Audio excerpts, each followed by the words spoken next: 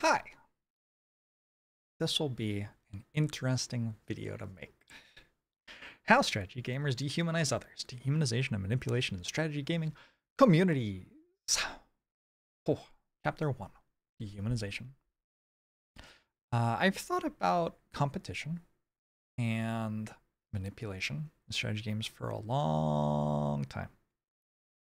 But for me, the moment that I thought I want to work out how to tell other people about this It was in 2021. In 2021, I found out that one of my friends was being abused in a relationship by another friend of mine. Um, this was one of my dearest friends, a person I loved greatly, and I had been excited about her relationship with another strategy gamer that I knew, and then I found out uh, it had not been going well. It had, in fact, been going very badly. And I was shocked and I was angry. But having spent my life in strategy gaming communities, I unfortunately wasn't very surprised. I was already used to seeing people being manipulative around me, breaking rules, not caring about other people. And this sort of behavior coming from this other person that I knew or maybe more acquaintances than friends. I don't know, but um, it didn't surprise me that much. I could see how it squared sensibly with everything else that I knew about their character. And since then, I've thought a lot about what circumstances lead strategy gamers to abuse and dehumanize the people around them and how I can raise awareness of it, call it out, what I can tell other people um, to do about it. I personally was in a an abusive relationship in my early 20s, not with a strategy gamer, um, a different sort of abusive relationship, but I definitely know what it is like to be in an abusive relationship. And I have also been like manipulatively harassed by strategy gamers uh, in my time as a strategy game streamer. And so I'll talk about that a little bit as well. But this is a subject that's extremely, extremely close to home for me and extremely important to me. And I hope that I can do a good job of presenting my thoughts about it in a useful way. So I think that strategy gaming communities have ingredients present for people to be very toxic to other people and very manipulative toward other people. And I want to first examine the three ingredients that I think make this sort of behavior um, endemic to strategy gaming communities. Basically, make strategy gaming communities very vulnerable to manipulative people. And number one is that they are attractive communities for people who are master manipulators. Strategy games teach us to utilize resources in service of a stated goal. Um, that's what you need to do to manipulate. While strategy games have rule sets we have to play within, they do not generally ask that we abide by those rule sets, and if we would like to save and reload a few times, we can do that. So we're trained to use the things around us to get what we want. We're also taught to expect rules on behavior to be applied to us externally, rather than us needing to manage our own behavior. And we're taught that finding ways to work around the rules is acceptable.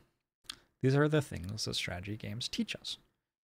Strategy games are not by themselves bad, but as a thing in the world, some things which are true about them are these points, and that can lead to them being attractive to people who are extremely manipulative human beings. Number two, another thing that happens a lot in strategy gaming communities is that they become homes for people with poor socialization skills.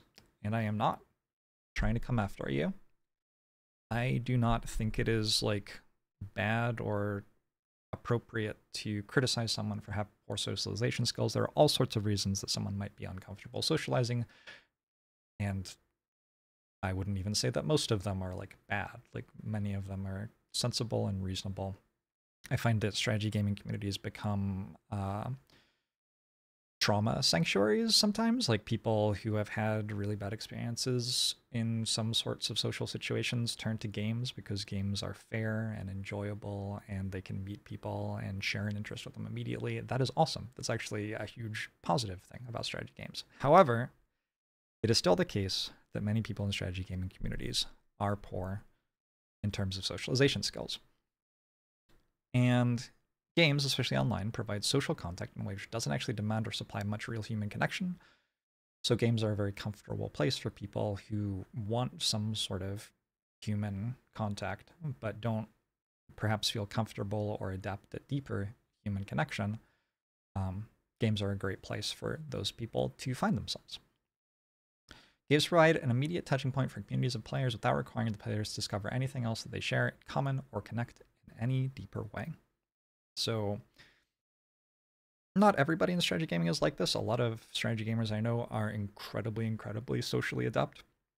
Some strategy games um, reward you for that. Um, games like deception games, for example, it's really powerful to be able to read people and, well, manipulate people. But um, strategy gaming communities are full of people who do struggle a little bit with socialization. And so when those people see bad behavior, they may not immediately understand what it is or know how to call it out or understand the mechanisms via which it's appropriate to engage with it and try to reduce it. All right, number three dehumanization of others. Uh, it's not great, but strategy games do teach us to dehumanize others. Strategy gamers are often put in situations where they feel justified dehumanizing people around them, which is especially dangerous if they were poor at humanizing those people through a lack of social skills allowing them to connect with others to begin with. Um, perhaps the most strategy gamer of these five major mechanisms I want to talk about uh, is opponents. We see the people around us as opponents, but also just in general, all human beings are regularly encouraged to dehumanize others. This isn't exactly unique to strategy games. The environment within which this dehumanization is um, occurring, though, can make it especially dangerous, I think. Why does it matter if we dehumanize someone? It's normal for most human beings to dehumanize or fail to humanize other humans all the time. It's not good, but it isn't abnormal either. Humans ignore wars and suffering in other parts of the globe, bully and gatekeep people outside their interest group, and so on. This is human behavior, not at all unique to strategy gaming circles. But the best strategy gamers are extremely powerful manipulators, surrounded by people with poor social skills, some of whom mistake competence at a game for value as a person. And so when strategy gamers dehumanize someone, they will often use their powers of manipulation against them and not get called out for it. I want to say like the best strategy gamers are extremely powerful manipulators. That sounds very damning, but succeeding at a strategy game is about understanding how to manipulate that game. And that's not in and of itself a bad thing. You could say that a conductor of an orchestra was an extremely powerful manipulator on account of their knowledge and expertise at conducting all of the instruments in that orchestra to make a beautiful piece of music. Uh, you could say that a famous painter was an extremely powerful manipulator on account of their ability to take like a blank canvas and some paint and create an incredible work of art that requires extremely powerful manipulation. So I'm not trying to say that being a manipulator in and of itself has to be a bad thing. It's very much a matter of like how are you using your agency in the world to affect others? And when we are dehumanizing others and manipulating them in service of our own goals without thought as to what that might do to them or others around them and around us, uh, that is generally going to be pretty bad. So, I want to talk about these um, reasons in particular that I find dehumanizing to happen a lot in strategy gaming situations. Uh, and first, I want to talk about prejudice and outgrouping. So strategy gamers often mistakenly believe that success at a game means that you are smarter or more valuable than another person. This is a thing that I have noticed from experience. It doesn't mean that every strategy gamer um, thinks that. It just means that in a strategy gaming community, you will find people expressing that thought um, with some regularity. It's not unique to strategy gaming communities, um, but it is a thing that is in strategy gaming communities. Um, but because of this, seeing, for example, that the most successful players of a game are white men, strategy gamers might often attribute value to white men and diminish the value of others. Uh, I think that this sort of overt racism and sexism is a lot less common in strategy gaming now than it was 20 years ago. But if you look at like dialogue around chess or or poker, for example, from 10 or 20 or more years ago, it is wild. Some of the stuff that gets says and how sexist it is, and how racist it sometimes is as well. Uh, but also for what it's worth, I think that I see sexism in this sort of conversation uh, more often than racism. Uh, but I'm not sure that that's. I wonder sometimes is that if that's because strategy games are a racist enough space that, at least in the world I inhabit here in the U.S., um, people who play strategy games are so extremely white that there isn't much reason to comment about people who aren't white. Uh, generally, what I'm saying is that strategy gaming is uh, a community which tends to have certain demographics and can be quite cruel to people who don't match those demographics. Uh, yeah, so success at a game doesn't equal value or intelligence as a person. Hello? Uh, also, strategy games are historically white and male and are gate kept heavily. See this slide. So white men winning at them is kind of a self-fulfilling prophecy, as players from other identity groups will often stop playing when abused and dehumanized in gaming communities. I think this is getting a lot better. The slide's kind of a downer. I do think that stuff has been improving markedly even over just the last five years, but this sort of stuff is still present in strategy gaming somewhere, sometimes. And if you and if you go and look for it, um, you will find it. Uh, I feel like it's kind of gone from a place where you would see it everywhere, even on like official tournament broadcasts, to being something where unless you were looking for it, you didn't necessarily see it very much. But if you do go and look for it, there it is. All right. Number two reason why strategy gamers dehumanize others limerence. Limerence extremely, very, very, very much not unique to strategy gamers. Uh, limerence is a method of human attachment wherein someone fixates on and idealizes another human as their limerent object. Often someone might describe feeling limerence as having a crush on someone. Um, the thing is, limerence typically dehumanizes its target through fixating on an idealized version of them instead of attaching to them in a humanizing way, and it places winning reciprocated affection from them as a goal. These are typically things limerence does, dehumanizes the other person. You have a goal of winning affection from them. And what do strategy gamers do when they have something that they don't consider human and they have a goal within it? They start manipulating. They start pushing rules. They start breaking boundaries, etc. Given how little support women receive in strategy gaming communities from the beginning, Women who become limerent objects of strategy gamers often have little recourse when those gamers stop manipulating and breaking rules to try to win their reciprocated affection. Uh, I gendered this, uh, perhaps unnecessarily. This is something that I have spoken to many, many, many women about, and I've heard from many, many women about them struggling with this. I haven't heard about it from as many men, but like abusive relationship practices are not something that are monopolized by one gender, and definitely people who are not women can be victims of this as well. Just a second, I'm going to put my cat in timeout. Be right back. I don't actually know how to pause recording. All right, well, we'll fix it in post. Or we probably won't.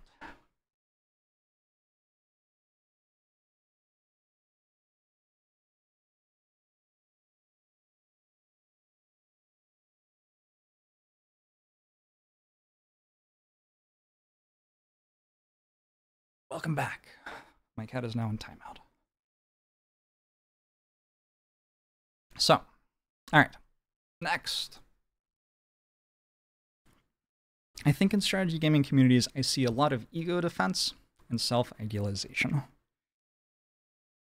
I don't, I don't know if these are exactly the right psychological words to use for the behavior I'm describing. But what I see somewhat often is that strategy gamers will place a lot of personal value on their ability to win at games, which sometimes follows from them having been poor, poor socializers who found success and acclaim in strategy gaming communities, for example. You can say the same thing of streamers to some extent. There are a lot of streamers who place a lot of value on their ability to entertain a large audience because they hit content creation fame at age like 17 or 18 and they just never had time to develop like normal human being social skills and ego. But in such situations, strategy gamers might attach their ego to their continued success of the game, and if they feel that their ego starts to get threatened, sometimes you'll see them warping their own reality to frame themselves as perfect or best players, which actually ends up dehumanizing themselves. If a strategy gamer thinks that they are really, really, really good at League of Legends or something like that, and that is like kind of their identity for themselves, they're losing a whole huge part of their humanity. It's getting buried under the idea that they are good at League of Legends. And then if they start to realize somebody else might be better at League of Legends than them or something like that, well, that was the human humanity that they chose for themselves. That was their identity. And so their entire identity is being threatened. And they start warping the world to try to defend their identity instead of thinking like, hey, wait a second. I'm just kind of a cool human being. Lots of people like me, and it's really fun to like go outside and stuff. Uh, this is not that big a deal. Um, but yeah, once once a strategy gamer makes it so they themselves are not really like multifaceted human beings, and the only thing that's important is playing their ten thousandth game of League of Legends, uh, it's easier for them to break rules and pass judgments on others, in my opinion. Uh, a common fallacy that you see from strategy gamers like this is that if someone else makes a single mistake, uh, they might believe that they are better than the other person just from seeing that one mistake. Uh, they've mistakenly forgotten that they also make mistakes. Um, they're just focusing in on the one flaw that the other person has so that they can think that they are better than that other person. And if they think that they're better than another person, then they can start dehumanizing that other person as well. And we just lose a whole lot of humanity to this sort of thought spiral. Another way that strategy gamers dehumanize people is by calling them opponents. Strategy gamers attach their ego to having more success at a game than others. Others who are successful at the game end up as threats to their ego. Uh, this sometimes exists mainly within the gameplay itself, uh, where it might lead to players cheating because they think they deserve to win and they don't respect their opponent. It can also exit the gameplay, though, and lead to manipulation away from the game, where strategy gamers might dehumanize or belittle competitors or pass judgment on whether their achievements are valuable or not. I don't think any of this would generally happen if you sat down to play a game with somebody else and your primary thought was, this other person is a human being. I care about their feelings. I want them to be happy uh, they are, you know, reasonable, conscious. What's the word for like sentient? Sentient living beings like me. And we're here to enjoy a game together. But a lot of the time in strategy gaming communities, if someone's really invested in a game, they sit down across from an opponent and their first thought is how am I going to win? How am I going to beat them? And that doesn't lead successfully to humanizing um, the opponent uh, as often in my experience. The last way that I see dehumanization happening in strategy gaming communities is about money, which is a little bit weird. Um, it's a very different angle, but money has become heavily tied with strategy gaming due to the nature of online content creation platforms. And in a world where viewers want to watch the best player, it pays to present yourself as the best. So you're being asked to present yourself as a certain thing, no matter who you actually are. However, most content creators and strategy gamers in general are not making very much money from what they do, which means that they may be under financial pressure. Even if you're watching someone and they say that they're the best Magic the Gathering player or whatever, that doesn't mean that they are a financially secure human being. In fact, they probably have very low job security because there's no guarantee that Magic will continue to be a game that people play competitively uh, with prize support at tournaments or whatever. There's no guarantee that Twitch will continue being a platform that they can broadcast Magic on to their audience. There's no guarantee that advertisers will keep wanting to spend money on online content to support them. And they may be spending a lot of their time uh, on a career which doesn't build their resume very well for other options. Uh, and honestly, even while everything's going well, they're probably making significantly less money than they could be as like a computer programmer or a data scientist or something like that. So in these communities, there are a lot of people who are under financial pressure. And when you are under financial pressure, it's hard to hold space in your world to care about others when you're feeling pressure to survive on your own. And that is just a frustratingly sad, but regardless, true thing about the world. So, now I want to talk a little bit about this manipulation. Manipulation by strategy gamers frequently expresses itself as improperly or incorrectly framing reality in a way that favors them or suggests that they should get what they want. When a strategy gamer is playing chess against you, the arena for them to manipulate is the chessboard, right? Unless they start cheating and manipulating outside the game, in which case they might start doing things like um, accusing you of cheating, launching lawsuits against you, stuff like that. Uh, not saying that every time someone has ever accused someone else of cheating in chess, it's been out of desire to manipulate them. Sometimes it's just they were cheating. But, you know, that's one of the other ways in which you can interact with someone about chess, which isn't actually on the chessboard. And so if a, a manipulator gets to a point where they are manipulating you beyond the game itself, they'll start using the channels which are available to manipulate you within the community outside of the game. Accuse you of cheating, spread rumors about you among other competitors, say that they are not interested in playing a tournament if you are invited, etc., etc., etc. All of these things are things which you could justifiably do. You could justifiably accuse someone of cheating because they were cheating, or you had strong evidence to suggest that. You could justifiably spread rumors against someone else because, like, you knew that they were abusing your friend or something like that, and you wanted to get word out. You could justifiably um, what was the other one? Withdraw from a tournament if someone was invited, if like you just genuinely didn't like them and didn't want to be in a tournament with them. Like that's these are all things that are allowed. The channels of manipulation are things which reasonable people could do for reasonable reasons.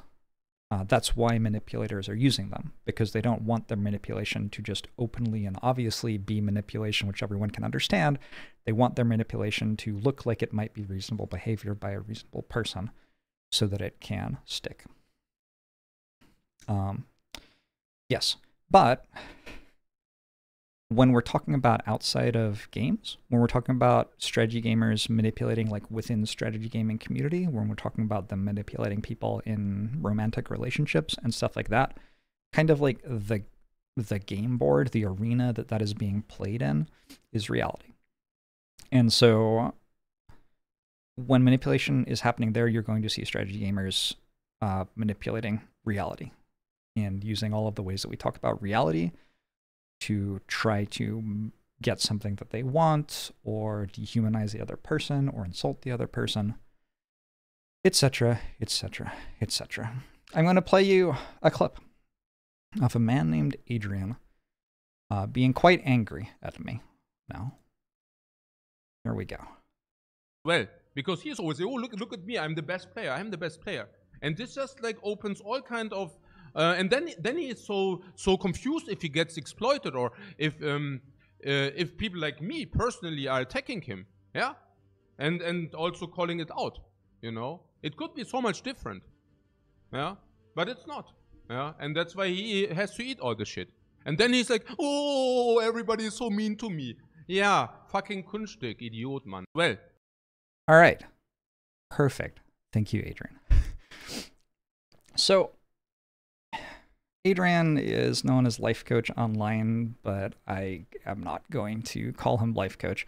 Um, what that clip was, he's another Slay the Spire streamer, and he has pulled up a Reddit post which I made, uh, which had some like comments on recent results that I had, and I was just talking through the different characters and my strategies for different characters. Here I'm talking about Defect and how I've felt comfortable in Defect for quite a while, and you know, making some statements about how I play Defect.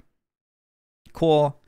I mean, that seems reasonable to me. That seems like something I should be allowed to do or whatever. Uh, but Adrian doesn't like it. And he has pulled it up on stream and is talking to his audience about how I deserve to be bullied for it and so on and so forth. I want to talk about some things that he does in this clip. So, I want to talk about ways that he misrepresents reality because Adrian is being immensely manipulative here. And like I said, the way that strategy gamers are manipulative of other people is largely about misrepresenting reality. Uh, so the clip begins just straight away. Because he's always, oh, look, look at me, I'm the best player, I'm the best player. He's always like, look at me, I'm the best player, I'm the best player. Um, I have never said that I am the best Slay the Spire player. Uh, but Adrian has said that I have said that I am or think that I am so often on his stream that like I just very very very regularly at this point have people express that reality is that that's something that I say about myself. I've made a very deliberate point never to say that and never to place myself above other Slay the Spire players for like basically lengthy reasons, but Slay the Spire is like the sixth strategy gaming community iteration for me. And there have been times in my life where I have said, hey, like, I'm really good at this game. I'm better than that person. Um, as a teenager playing strategy games, that was something that I have said in my life. As a poker player, it was something that I have said in my life. It poker is a very adversarial game, so that was something that kind of everybody said in poker. Um, and I I moved heavily away from that. This isn't something that I say and it's not something that I'm saying here. But Adrian is reframing me stating something I have achieved, uh, which ideally would be something a community could celebrate together, as me saying that I'm better than others. And in the text that he's looking at, I even give credit to two other Spire players with whom I've shared achievements. So I don't think a reasonable person would read this and interpret it as me trying to prevent myself as being above other people. The reality here is I have never said I am the best Slay the Spire player, and I do not do so here. Um, all I'm doing is saying I had good results in Slay the Spire over the last month. Here's how I did it. Here's a strategy post on Reddit. Point number two. And this just like opens all kind of uh, and then then he is so so confused if he gets exploited or if um uh, if people like me personally are attacking him. Okay. So here again, his framing reality is me reacting a very specific way to what he's doing. I'm confused if I get exploited or if people like him are attacking me. I don't actually know what exploited means for what it's worth. Uh, it's it's weird to say out loud that you're trying to exploit another human being. I think. Um, but anyway, uh, I've never expressed confusion about why Adrian attacks me. And presenting me as being confused is warping of reality. Uh, I think that it serves a double purpose here of suggesting that I'm not very intelligent and also suggesting that the behavior in question is obviously justified. Um, so basically, that person's too dumb to understand why we're bullying him, which, like any reasonable person, could understand why we're bullying someone. Um, but yeah, in reality, I comfortably understand that Adrian likes bullying other people. Uh, though I also understand it would be a massive overstep for me to try to tell you exactly why. I don't know him. I can read his mind. Uh, Adrian and I have never met. Uh, we've exchanged DMs on Twitter one and a half times uh, and never collaborated uh, on a stream or anything like that. Never had a conversation together. Uh, he just kind of says stuff like this about me on his stream. All right. Yeah. And and also calling it out, you know? It could be so much different. Yeah. But it's not. Yeah. It could be so much different, but it's not. So here, Adrian I guess he hasn't literally uh, said that it's my fault that it's it's not different, but I, I I feel like we can safely say that that is the meaning of the sentence that he is speaking. Uh, this is victim blaming, yeah. um, in reality, I DM'd Adrian privately to ask him if he could res- if we could resolve this privately over three years ago. Uh, I've also changed my behavior to try to minimize uh, this happening. I stopped advertising my win rates and records on stream. I mostly stopped creating analysis content about Slay the Spire because I noticed that like I can play a run and enjoy myself and put it out to my viewers and that's fine. But if I like post something about strategy, um, I will start getting harassment. So I stopped posting as much stuff about strategy. And uh, last year, I streamed other games 70% of my stream time. So I've even largely moved away from streaming Slay the Spire at all. Um, but he and his community are still doing this. Uh, and he here has chosen to pull up a Reddit post that I made. Uh, the Reddit post received 2.1 thousand upvotes on the subreddit. Uh, it was immensely appreciated. Uh, most of the comments, and there were many comments, were extremely positive and expressing gratitude for me doing the work of writing up strategy guides for playing all the characters from someone who had a lot of success playing them over the last month. Um, but he's pulled it up and is making fun of me on his channel in front of his audience uh, to it. So my agency isn't causing this to happen. He is choosing to do this. And this is another way in which he's misrepresenting reality here. Skipping ahead a bit to the end. Oh, everybody is so mean to me. Yeah, fucking Kunststück, Idiot, man. Um, I think that this is a lovely sign off from him because he's mockingly impersonating me, but it isn't an impersonation of me. Uh, I did a charity week recently, and Voxy came on my channel, and Voxy is my friend, and she impersonated me to make fun of me, which is something that, like, between friends, that can be an okay thing to do. And that is a relationship that I have with Voxy. She can get away with doing that. It's really funny. And when she impersonated me, she like you know leaned into my speech patterns the way that i like will have little spaces between words and think about what word to say next my dry tone my monotony etc and she did a great job of that and then i said what the fuck because that's kind of what she sounds like and i was impersonating her back that's like how you impersonate someone right but he's just making the noises that he thinks a crying baby might make it's not even impersonating me so reality is so like meaningless. It has so little value to him in how he's talking about me that he's not even bothering to make fun of me. He's just presenting something else and making fun of that. Anyway, the reality here is that not everybody is mean to me, and most people in the Slay the Spire community are kind. The posts that he's responding to, again, received net 2.1 thousand upvotes. Um, however, Adrian has 180,000 Twitch followers, and his behavior leads to me getting harassed when I participate in larger Slay the Spire community. So it's reasonable for me to be upset by that, I would think.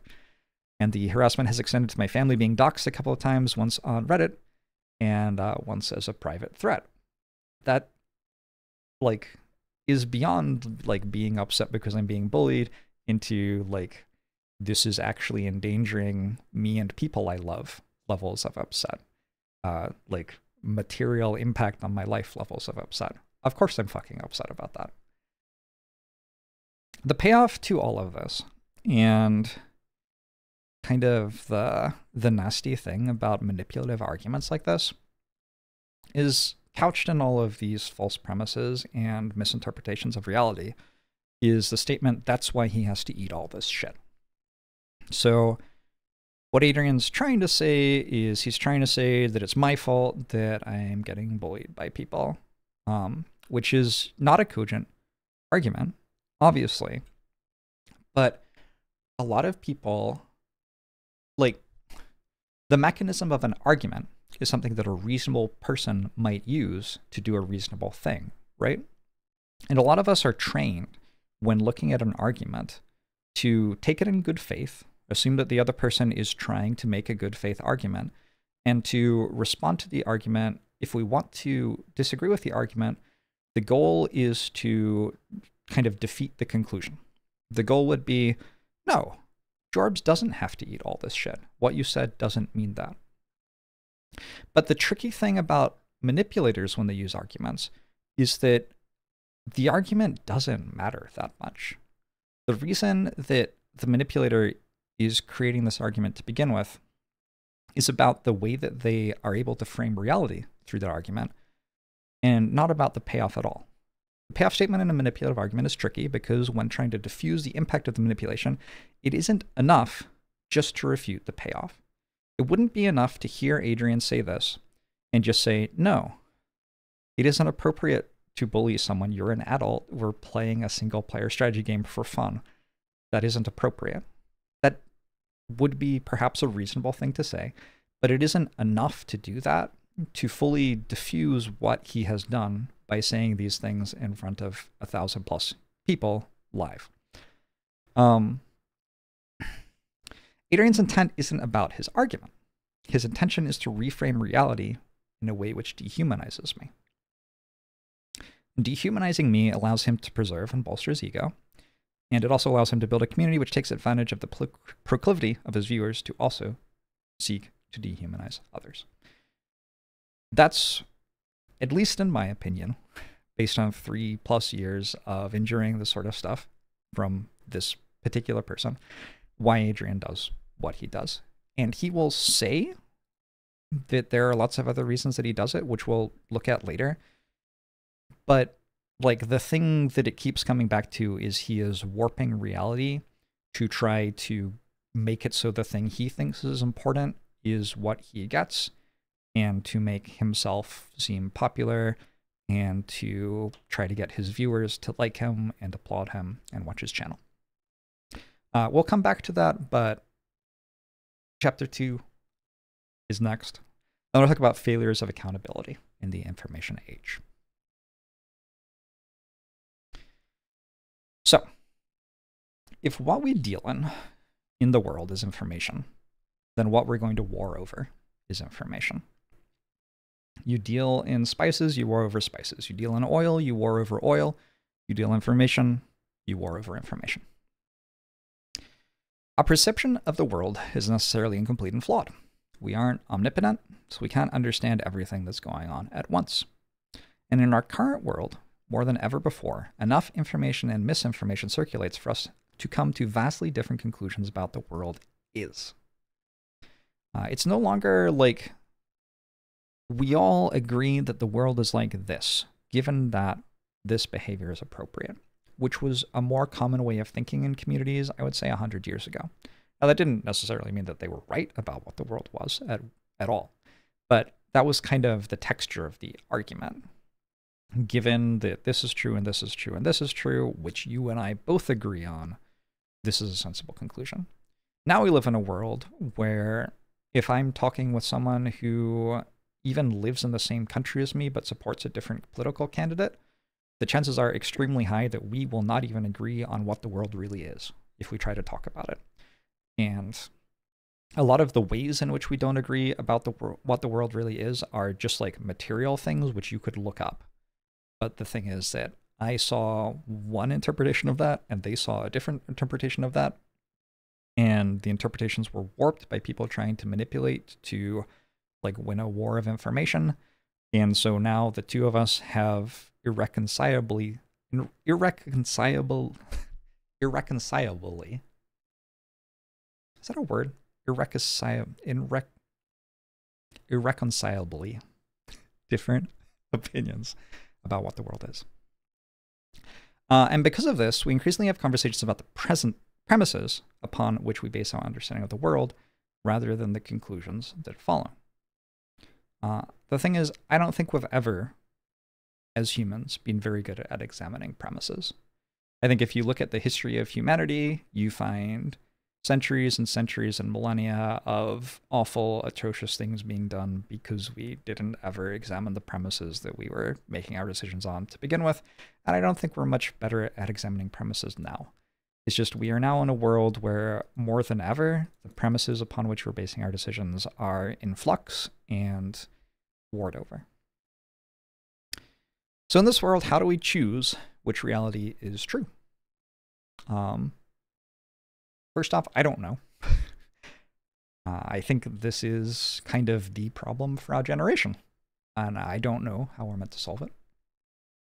Uh, some options, though, are kindness. We could do it with kindness. We could do it with cruelty. We could do it with self interest. We could do it by looking to our role models. We could do it based just on our own experience.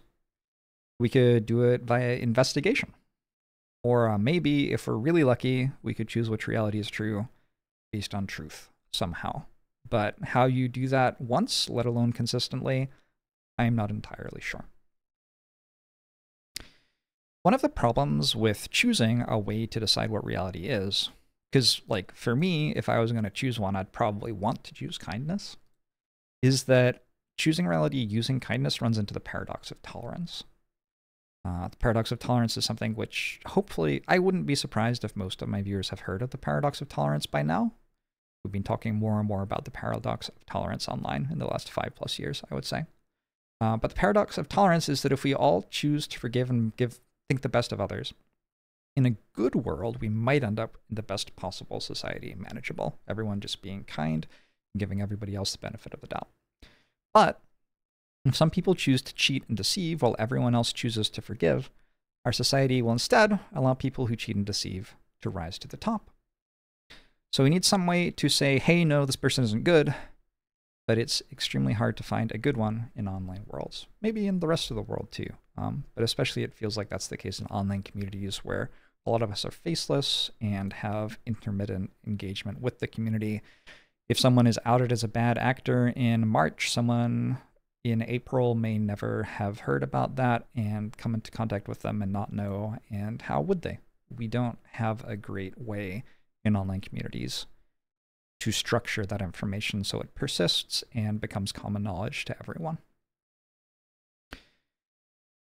Mob justice on social media is one way that you might think that you can protect the vulnerable. And it can feel good or at least sufficient to pay attention to conversations online take part in criticism, bad behavior that you hear about. But because of the nature of online conversation, this results in extremely incomplete distribution of justice. So it's really not a great solution. For example, someone who acted inappropriately a couple of times around members of offline TV might be ostracized from online communities indefinitely, and perhaps that's even appropriate. Uh, but meanwhile, another person who has reasonably been accused of three different sexual assaults might be one of your most watched streamers because their victims didn't have large enough online followings for you to ever hear about them. This is not a pretty picture of justice. Uh, huge frustration for me. I wrote a book largely about sexism in gaming, which published in March of last year, in March 2023, called Before We Go Live. Um, a huge frustration for me in interviewing a lot of my friends was hearing about the Me Too movement that went through social media in the gaming space uh, in 2022, I think late 2021, early 22, somewhere around there. Um, a lot of my friends were people who worked on the back end of the streaming industry in companies which were predominantly men.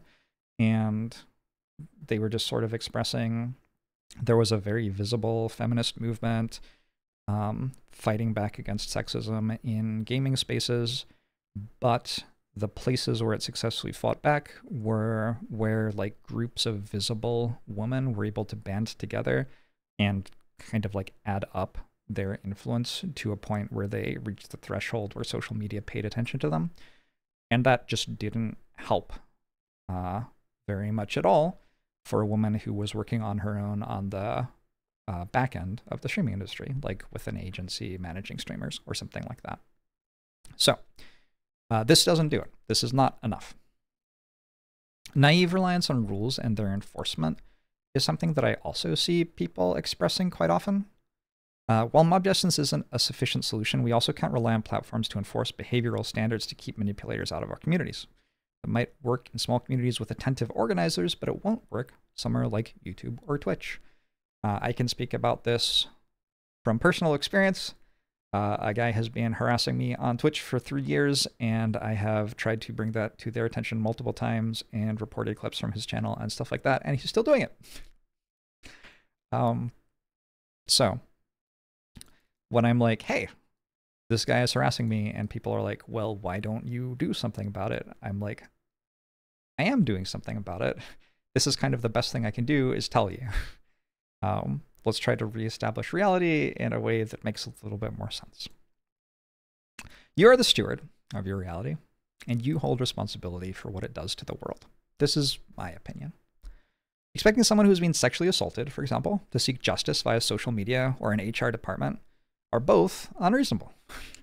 Instead, perhaps the best thing that you can do is reassert that you see and believe in the reality that they have presented to you, and that you will not personally support the person who has done this to them. You pay attention to what is going on, do a good job of understanding what is real and what isn't, and choose to promote people who do good and criticize people who do bad, you can still make a difference even in the gigantic world we live in today. That is something that I believe extremely, extremely strongly anytime that I talk about like believing victims, there is a small subset of, I mean, I talk with a lot of strategy gamers, so usually they're strategy gamers and usually they're men. Um, but there's a small subset of people who are like, well, it could be a false accusation. You have to think about like the possibility of a false accusation. You shouldn't punish somebody unjustly, etc., etc., etc which is absolutely true. absolutely true. It could be possible for someone to be extremely manipulative and to use the vehicle of accusing someone of a crime to manipulate them. Because accusing someone of a crime is a reasonable thing that a reasonable person could do. It is something that people might do if a crime has been engaged in, right? But but that's just the thing reasonable things you can do, which would be done by reasonable people, we have to have those in our communities for our communities to function. We can't have a default belief about somebody using that tool be that they are a manipulator and that's why they're using it.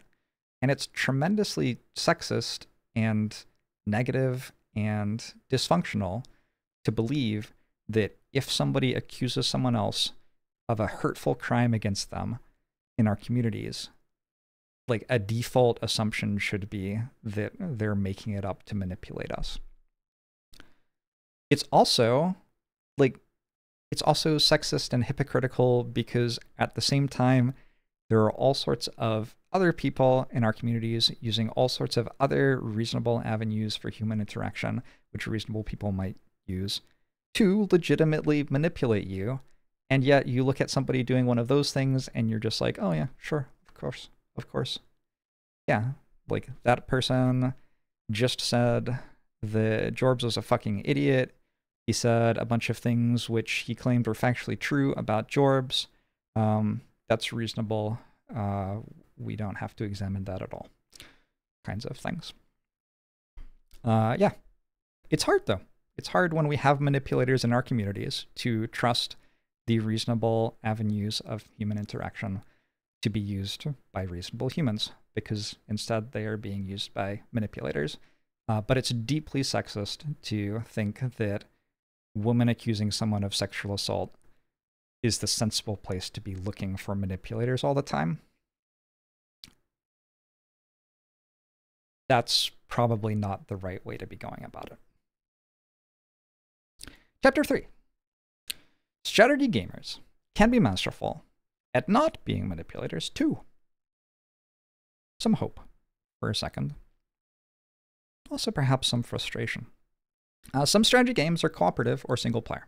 In the same way that strategy games select for people who are excellent at competing against others in pursuit of a personal goal, they also select for people who are excellent at collaborating with others in pursuit of a shared goal. Strategy games are actually extremely well equipped to navigate reality together if they can align their goals successfully. We've learned all about how to use the resources around us to get something that we want. All we need to do is agree that we're going to respect each other and ask other people around us if they want the same things that we do. And then we can collaborate and be incredible and do incredible things together. We are so well situated to do this. Remember when I talked about prejudice and outgrouping and how strategy games had some proclivity toward that behavior happening? Well, strategy games are able to provide some of the most powerful evidence against prejudice out of like anything in the world. They can serve as a language which crosses cultural barriers in which all players are treated fairly by the game, and all players can ask and answer questions about the same experience. Uh, when Indian chess players started to do incredibly, incredibly well, uh, and like there was an Indian chess world champion, there was no room for prejudice to say, like, no, only white people can play chess. Like, no, there is clearly an Indian person who is the world champion right now. He has beaten all the white people. Chess went from being a sport which was spoken about in terms of the Cold War between the US and the USSR when Fischer and Spassky were playing their world championship match to being a much more global sport with people represented from all sorts of areas of the globe with representation representation of women as well in it. And a large part of why it was able to do that was that the rules apply fairly to everyone when you're actually playing a game of chess. The ways in which a game of chess is prejudiced and unfair are created by the humans involved in the game of chess while the game of chess is happening and perhaps before the game of chess happened in deciding who has the ability to learn chess as a kid, in deciding who can make it to the tournament, on deciding who gets harassed for trying to do so, etc. But all we really need to do as strategy gamers is get out of the way and let the strategy games show that prejudice isn't right. If we just stop injecting the strategy games with our own prejudice, the strategy gaming communities can be full of people of all different ethnicities, from all different backgrounds, of all different genders, all succeeding at the games, because there just isn't actually a reason that people of all sorts of types can't succeed in strategy games. The games themselves are not the thing that's stopping people from doing that. So, my advice is stop caring about who wins or who is currently best, and instead use games to connect with people different from you and learn from the ways they approach, engage with, and enjoy those games. One of the most valuable things about games, given that they can connect us to people who aren't the same as us, is that we can learn things from those people about life beyond the game that we are playing. We can play a game of chess against someone who's 70 years old, even though we're like 13, and hear life lessons from them because we're connecting over a shared experience where we can see that within this game board we are equals. And then we have created a context within which we can have a conversation over that game board in which we treat each other with respect as well. Next up, limerence. Limerence is a way that we dehumanize people sometimes, but few people are more thoughtful about their emotional state than strategy gamers, in my opinion. We talk about things like tilt and performing under pressure and competitive edge all the time. Uh, the idea that you have an emotional state and it affects your ability to perform at your best is native to the strategy gamer's language. And I think if you go read Love and Limerence, which is a great book, it punches really hard, really early, and keeps punching. And you learn about limerence. Uh, not everybody experiences limerence, but a lot of you will be like, oh, that's an emotional state that I've been in over the course of my life. Uh, it'll be valuable to you to understand about that emotional state. And once you get through limerence and you understand what's going on, uh, strategy gamers understand many tools and structures for team building and how to play well with a teammate and that's actually a perfect starting point, in my opinion, for building a healthy romantic relationship with someone if you want to. So, strategy gamers can be awesome at romantic relationships if they want to be. Um, just because they are more able to act in an evil, manipulative way if they have a crush on someone and don't think of that person as a human being, doesn't mean that strategy gamers aren't also capable of being incredible partners in romantic relationships. What about ego defense and self idealization? So, some of us got most invested in strategy games because of their challenge, and we wanted to be the best at them. Um, but I would bet that all of us were first attracted to games because they were fun. I feel like the first time you sat down and got engrossed in a game, it was probably because you thought it was really enjoyable, far, far, far before you started thinking, I want to be the best in the world or the neighborhood or the school or the town or whatever at this game. And I think and and this speaks to my own experience somewhat as someone who at some point in his life cared a lot about being very good at strategy games And nowadays, I care much, much, much more about learning strategy games and challenging myself with strategy games. Um, I find that if my ego is invested in my results, fortunately, I'm already in a place where I can easily extract it because, like, I'm doing something which is fun.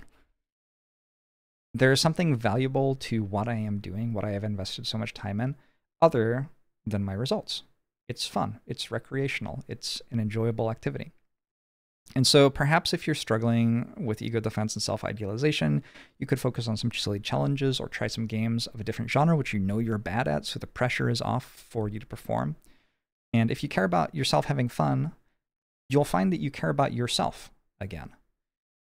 If you had lost yourself in this idea, I have to be the best League of Legends player, that's my identity, you might not be caring super much about yourself.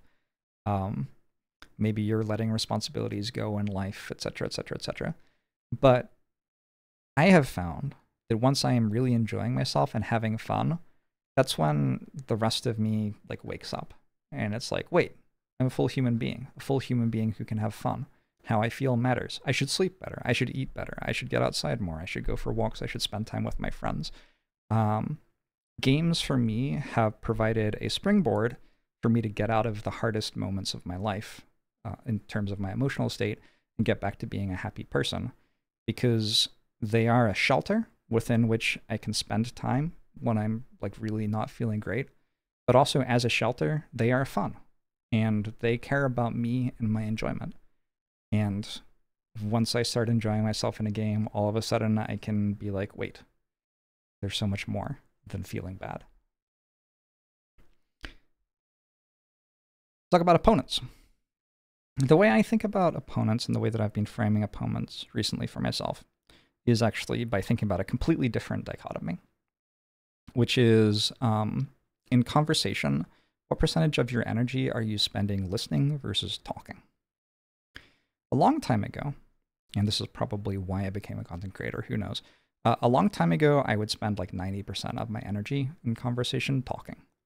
And so I'm like pretty good at that. Uh, it's something that I practiced way more than I should have as a teenager, um, when I should have just been listening to other people because I was a like idiot. I was a stupid teenager, you know.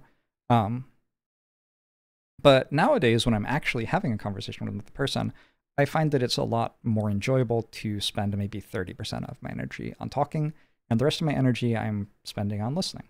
I'll often be in conversations with people, and it can be kind of awkward because they'll finish saying something, and I just like won't have anything to say because I've been spending all of my energy thinking about what they're saying and listening to it and trying to like construct my understanding of who they are and what's important to them and what the world is like for them because I think that's really interesting. I want to get to know them and understand what's important to them. Um, but while I'm doing all of that, they've like been talking and then they stop talking and they're like, "So now you go," and I'm like, "Oh, I I forgot I had to talk too." Um, so that's currently where I sit. Um, probably I should go more toward 50 50. Probably I'm spending too much energy on listening, honestly, but that's where I'm at right now. Um, and I think the same sort of dichotomy is present in gaming with other people to some extent. So nowadays, I'm thinking what percentage of my energy am I spending on competing with people I'm playing a game with versus what percentage of my energy am I spending connecting with them and, and learning from them? Because I think both of those modes are very important in games. This is a huge part of why I don't play many multiplayer games online. I prefer to play single player games where my connection with other people is via talking to like my viewers in a chat window. Because multiplayer games online, you will be paired with other human beings, but like everybody's kind of there to play the game. Often the game doesn't even support connecting with other humans in any way. Like you can't even chat with them. Maybe there are emotes, but everybody has them muted because they just get used to troll other people. Who knows? Uh, when I do my multiplayer gaming, I prefer to do it in person over board games, stuff like that. And I also try to make sure that if I'm playing games like that with other people, I get to take at least a moment to like say hi to everybody, introduce myself, ask how they're doing, maybe get to know them a little bit better. And then if we've played games together a few times, maybe at that point we start like opening up a little bit and becoming friends and really learning a lot about each other that way. So that's something that I keep an eye on in my gaming with other people. I don't want to be gaming in a way where other people are just my opponents. I want to be gaming in a way where I'm connecting with other people if other people are going to be involved in my gaming. And I find that if you spend more energy on learning from others and less on competing against them, you start humanizing and empathizing with them very quickly. So I don't think that our proclivity to dehumanizing other humans as opponents in strategy gaming is fatal to strategy gaming as a community at all. And I think that this is a good way to think about it in your own life to try to make sure that you are humanizing other people instead. Money. Strategy games teach us a lot about resources and vulnerability. And as strategy gamers, we are well prepared to recognize people who are in need and people who have plenty. Instead of letting people who feel pressured by money feel like they are on their own, struggling to survive, we can try to reach out to those around us and help them in the same way that we can pursue our goals we can find out what would help others and think about whether we'd be good at helping them get it. It is just true that human beings around us are going to be struggling sometimes, not just with money, but also with other problems. And I think that the fact that we are capable of looking at a like complicated game and saying, "Oh, here's a strategy to win from this situation," we can use those same sorts of skills to look at someone who is troubled by something and get a sense for how we might be able to support them. This is a skill that you have to develop separate from strategy games. A lot of the time when you're offering to support to someone, they don't want you to like solve their problem like you're playing a strategy game. But it is a skill which you can learn in the same way that you learned the skill of playing strategy games. You can learn to listen, you can learn to provide the support which is appropriate. You can learn to both appreciate other people's boundaries, but also appreciate how you can act favorably for them within their boundaries in a place that makes them comfortable. These are all things that strategy gamers can do. We can spend time raising money for charity. We can spend time building support groups. We can spend time socializing and making sure that people are in good places socially. None of this is fatal to strategy gaming. In fact, if we think about what strategy gamers' capabilities are, I think that as a community, we are very capable of being very good at a lot of these things. Um, now we're going to be negative again for a while. I think, I think that people just don't really understand very well what it is like for someone to manipulate your reality unless they have been exposed to it. And I am not going to be able to express to you what it's like for someone to just like nonstop lie and misrepresent you to thousands of people for three years. I, am not going to be able to express that to you in one video. There's no way you can fully get that without going through it for three years. I, I don't really think. I mean, you'd get most of it by going through it for the first six months.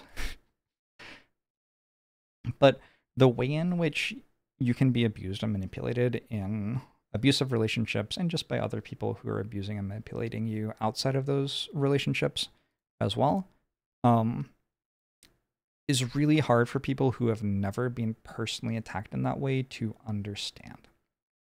And there are two things that come from that.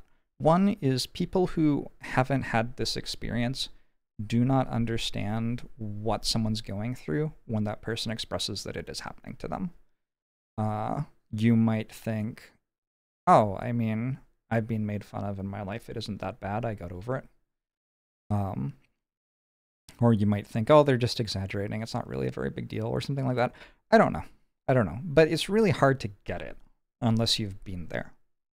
Um, the other thing is if all of a sudden you're there, if this starts happening to you, if someone is abusing you and manipulating your reality and telling lies about you to all of the other people around you and stuff like that, spreading rumors, making false claims, um, disparaging you, defaming you, etc., etc., etc. If someone starts doing that, like the response that you have to that, the emotional response you'll have to what is happening to your reality can be really strong and overwhelming, and you may find yourself in a situation where you don't believe that it's happening to you, where you believe that a lot of it is your fault. Um, that's one of the ways in which people who are masterful manipulators really dig their claws into you is they will identify your insecurities and make them bigger and bigger and bigger in your eyes to a point where you feel like you deserve this sort of treatment. And actually this is your fault. And how could someone listening to you describe this support you given how awful you have been um, in this new reality that is false but has been created for you and so i wanted to just give some examples of how people manipulate because when my friend came to me and said hey i'm being manipulated by this guy in this relationship i was shocked and i was angry uh, but my friend said, I'm going to deal with it myself. And I thought, okay, I trust you. I'm here to support you, but I'm not going to like butt in, right? And after my friends said, I'm going to deal with it myself, like a couple days passed, and then they came to me with an email that they had been sent by this person who was manipulating and abusing them. And they said, see, this is the sort of thing that's happening. Um, and if I remember right, maybe not that time, but maybe other times, they would often express like, oh, I can't like, I can't like take this to Twitch or whatever though, because look at all the awful things that I've done. Um, I could really like, this could look bad for me. This person could release our private chat logs, etc., etc., etc. Like they had been in a relationship, so they had spoken about very personal stuff. This person could share my secrets, etc. Um, and what I did with my friend that was very powerful and helped a lot, or at least they said it helped a lot. I believe it helped a lot. Was I just actually went through the email sentence by sentence, and every single one of the sentences misrepresented reality, warped what was happening, lied about what was going on in a way that tried to get something from my friend that would favor the person abusing them. Every single sentence. And I want to go through a like 20 minute long I might call this a rent. I don't know. Um that Adrian had about me on his stream. This isn't the only time that he has done this. Um I'm not trying to present this as like this is all of the evidence of him harassing me ever. Um this is just one that I have because somebody happened to save it. I didn't even know it had happened until they shared it with me like a couple of years after the fact when I was like, hey, this guy's been harassing me. They were like, oh, yeah, he like really says some wild shit. Like, here's an example of it that was so wild that I actually like kept a link to it. So that's how I have this. I didn't even know what was going on uh, when it happened. And I want to share it with you and talk about the ways in which reality is constantly being warped and the ways in which like who I am is being lied about over the course of this segment. So we're going to go through it. Like basically sentence by sentence. And yeah. I don't know. Talking about win rate once coach started slaughtering. Alright, here we go. What Martino says, uh, I will be honest, but it feels like everyone else stopped talking about win rate once coach started slaughtering everyone on win rate.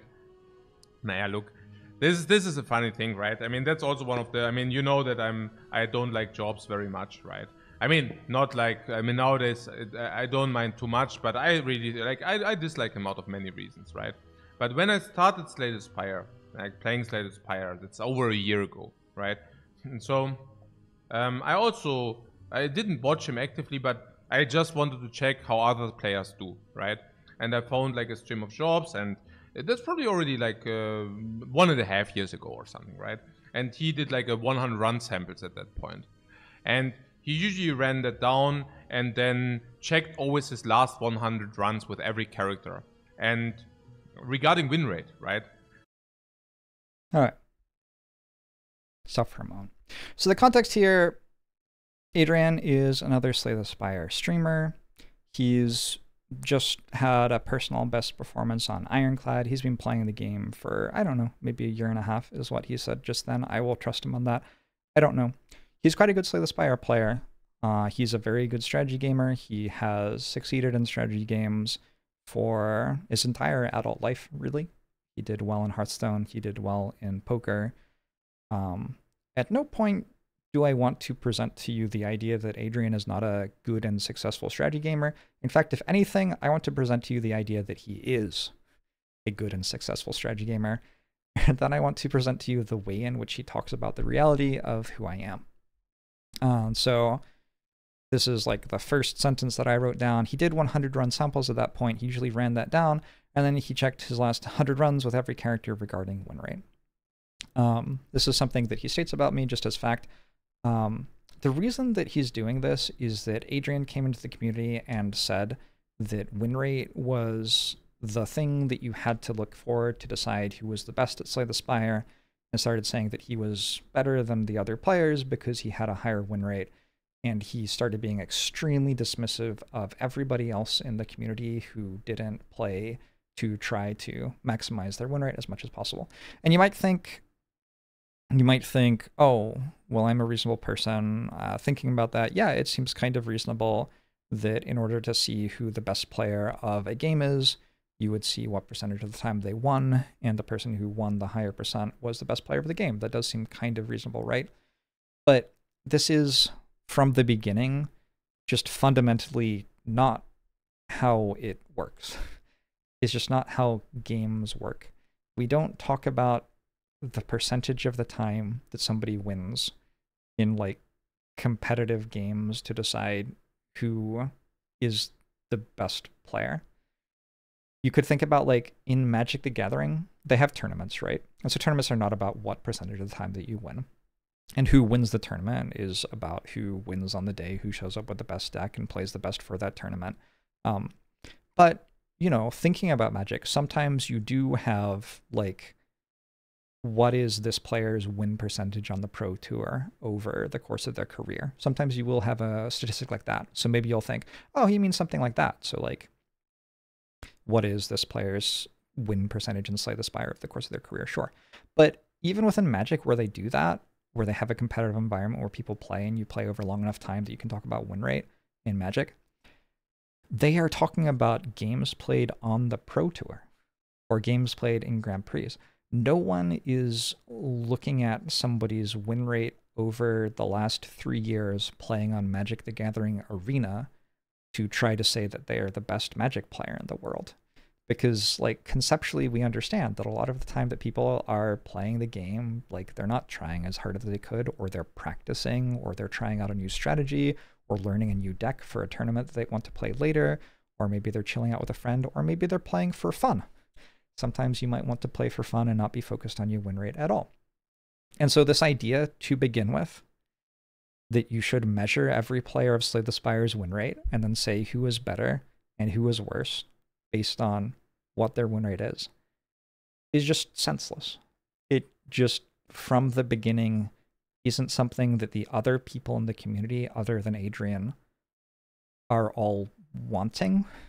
And unless everybody wants that and is trying to make their win rate as high as they possibly can in service of it, it doesn't usefully compare players to one another. Um, this isn't a competitive thing. So I needed to say all of that. I know that was a lot of talking, but like that's like what reality is. Um, and you know he's he's going to say that that isn't what reality is. That's what he's going to do. But but first he said that i used to do 100 run samples. I usually ran that down and then checked my last 100 runs with every character regarding win rate. And i just want to say like i've never done that. I i don't entirely know what he's talking about. I certainly have looked at my results in my life but in terms of like caring deeply about what my run rate was on characters of the last 100 runs, that is not a thing that I have done. Not to my knowledge, anyway. Um, it it sounds a bit like he's identifying that the game has a run history and you can look at what your previous runs have looked like um, and like using the fact that I have looked at that in my life to imply that that is something that is deeply, deeply important to me, but it is not something that's deeply, deeply important to me. And I've spoken pretty openly for my entire time playing Slay the Spire that like a lot of the time I just vibe with the game. I like to go for win streaks as a way to prove that I'm really good at the game because I can vibe with the game most of the time. And then if I'm starting on a win streak, I can try to play harder to try to extend the win streak. And for a long time, I did really well win streaks. And then eventually, largely in response to the community becoming inhabited by people who are toxically competitive, I like really moved away from caring about win streaks at all. And nowadays, I really just play the game um, and a vibe. Uh, and I would say that a lot of the way that I present that I'm very good at the game at this point is in like my ability to talk about it and teach it to other people.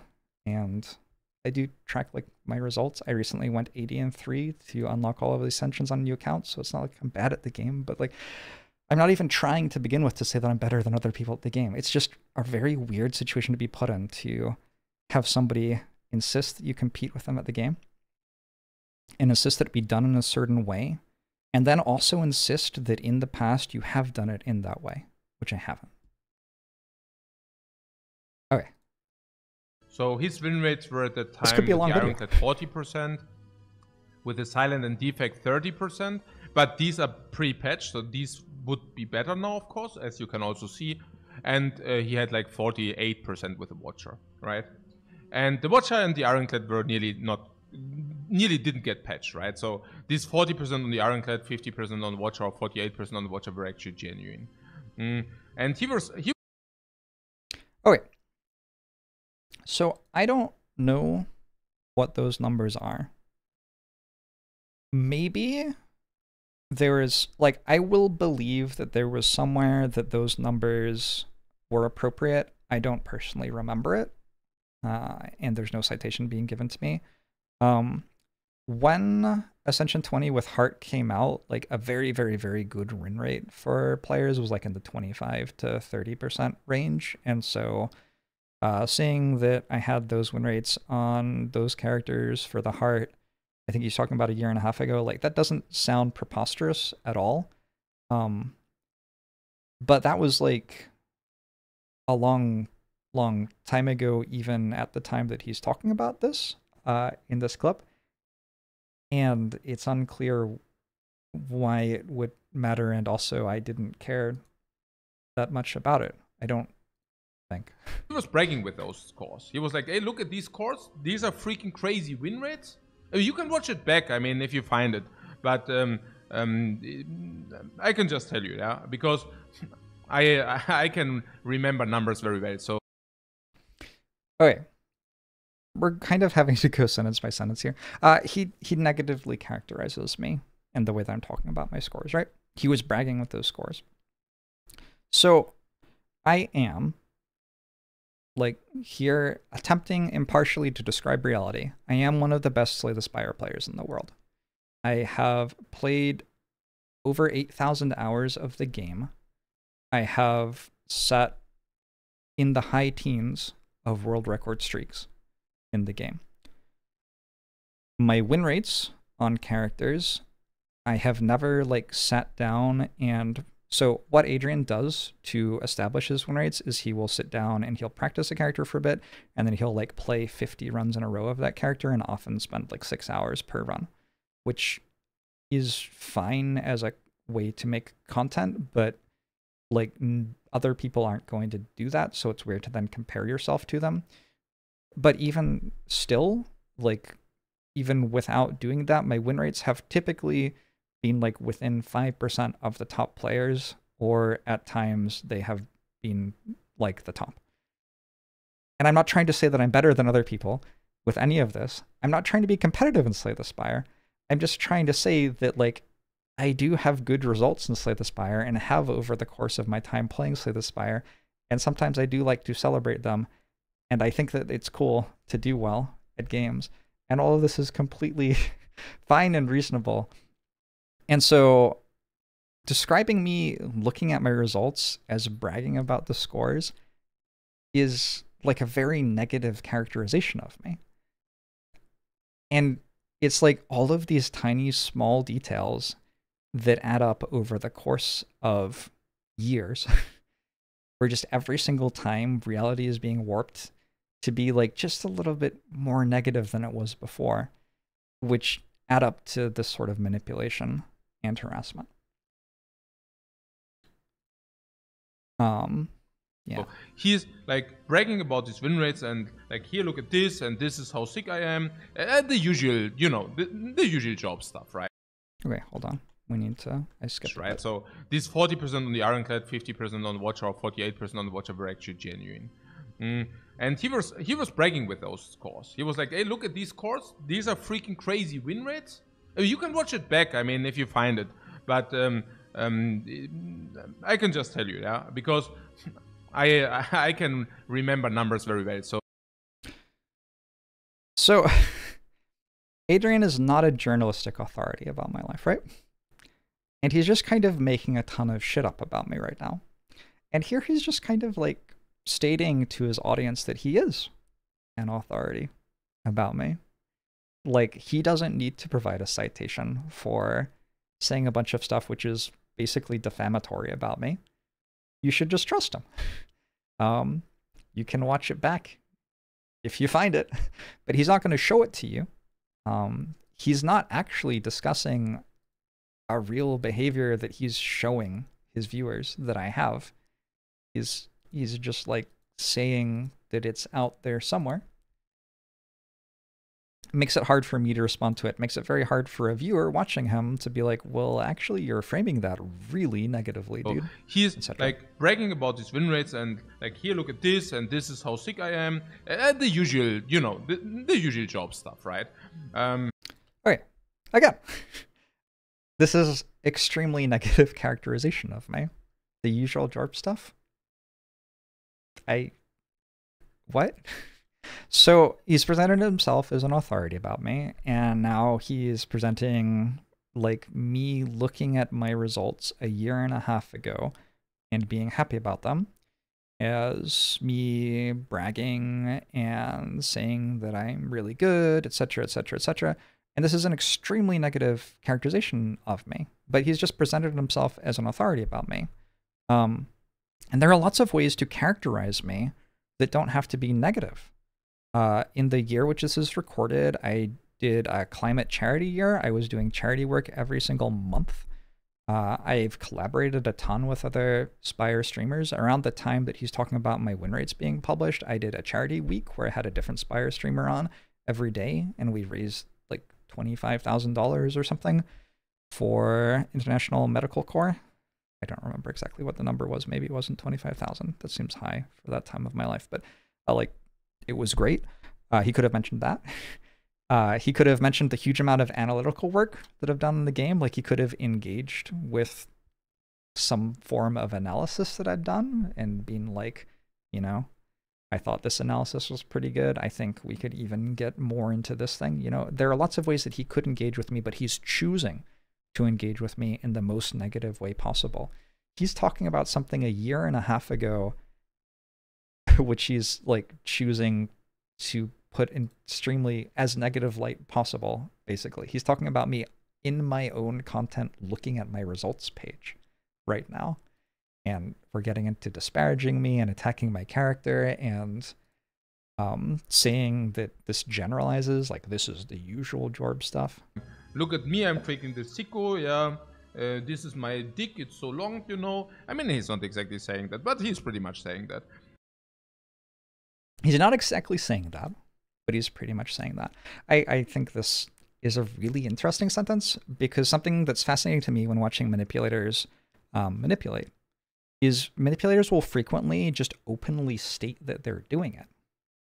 So, in service of Adrian's goal of framing reality about me in a certain way, he's conceded that I haven't actually said the thing that he's saying. I haven't actually done that. But then in the same sentence, he's reasserted, um, but I basically did say that. Like, no, I have never talked about how I have a giant dick uh, on my channel because my win rates are so high on Slay the Spire. I that is like so extremely that is such a massive characterization of me that is just not something that I would ever do.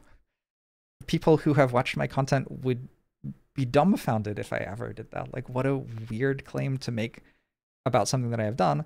But here he is, like, just literally saying that I've done that And then he will say in the same sentence, well, he didn't actually do that. That's not actually what he said, but he basically did do that, which is telling you um, just very directly that he is framing what I'm doing this way. It isn't something that I've actually done.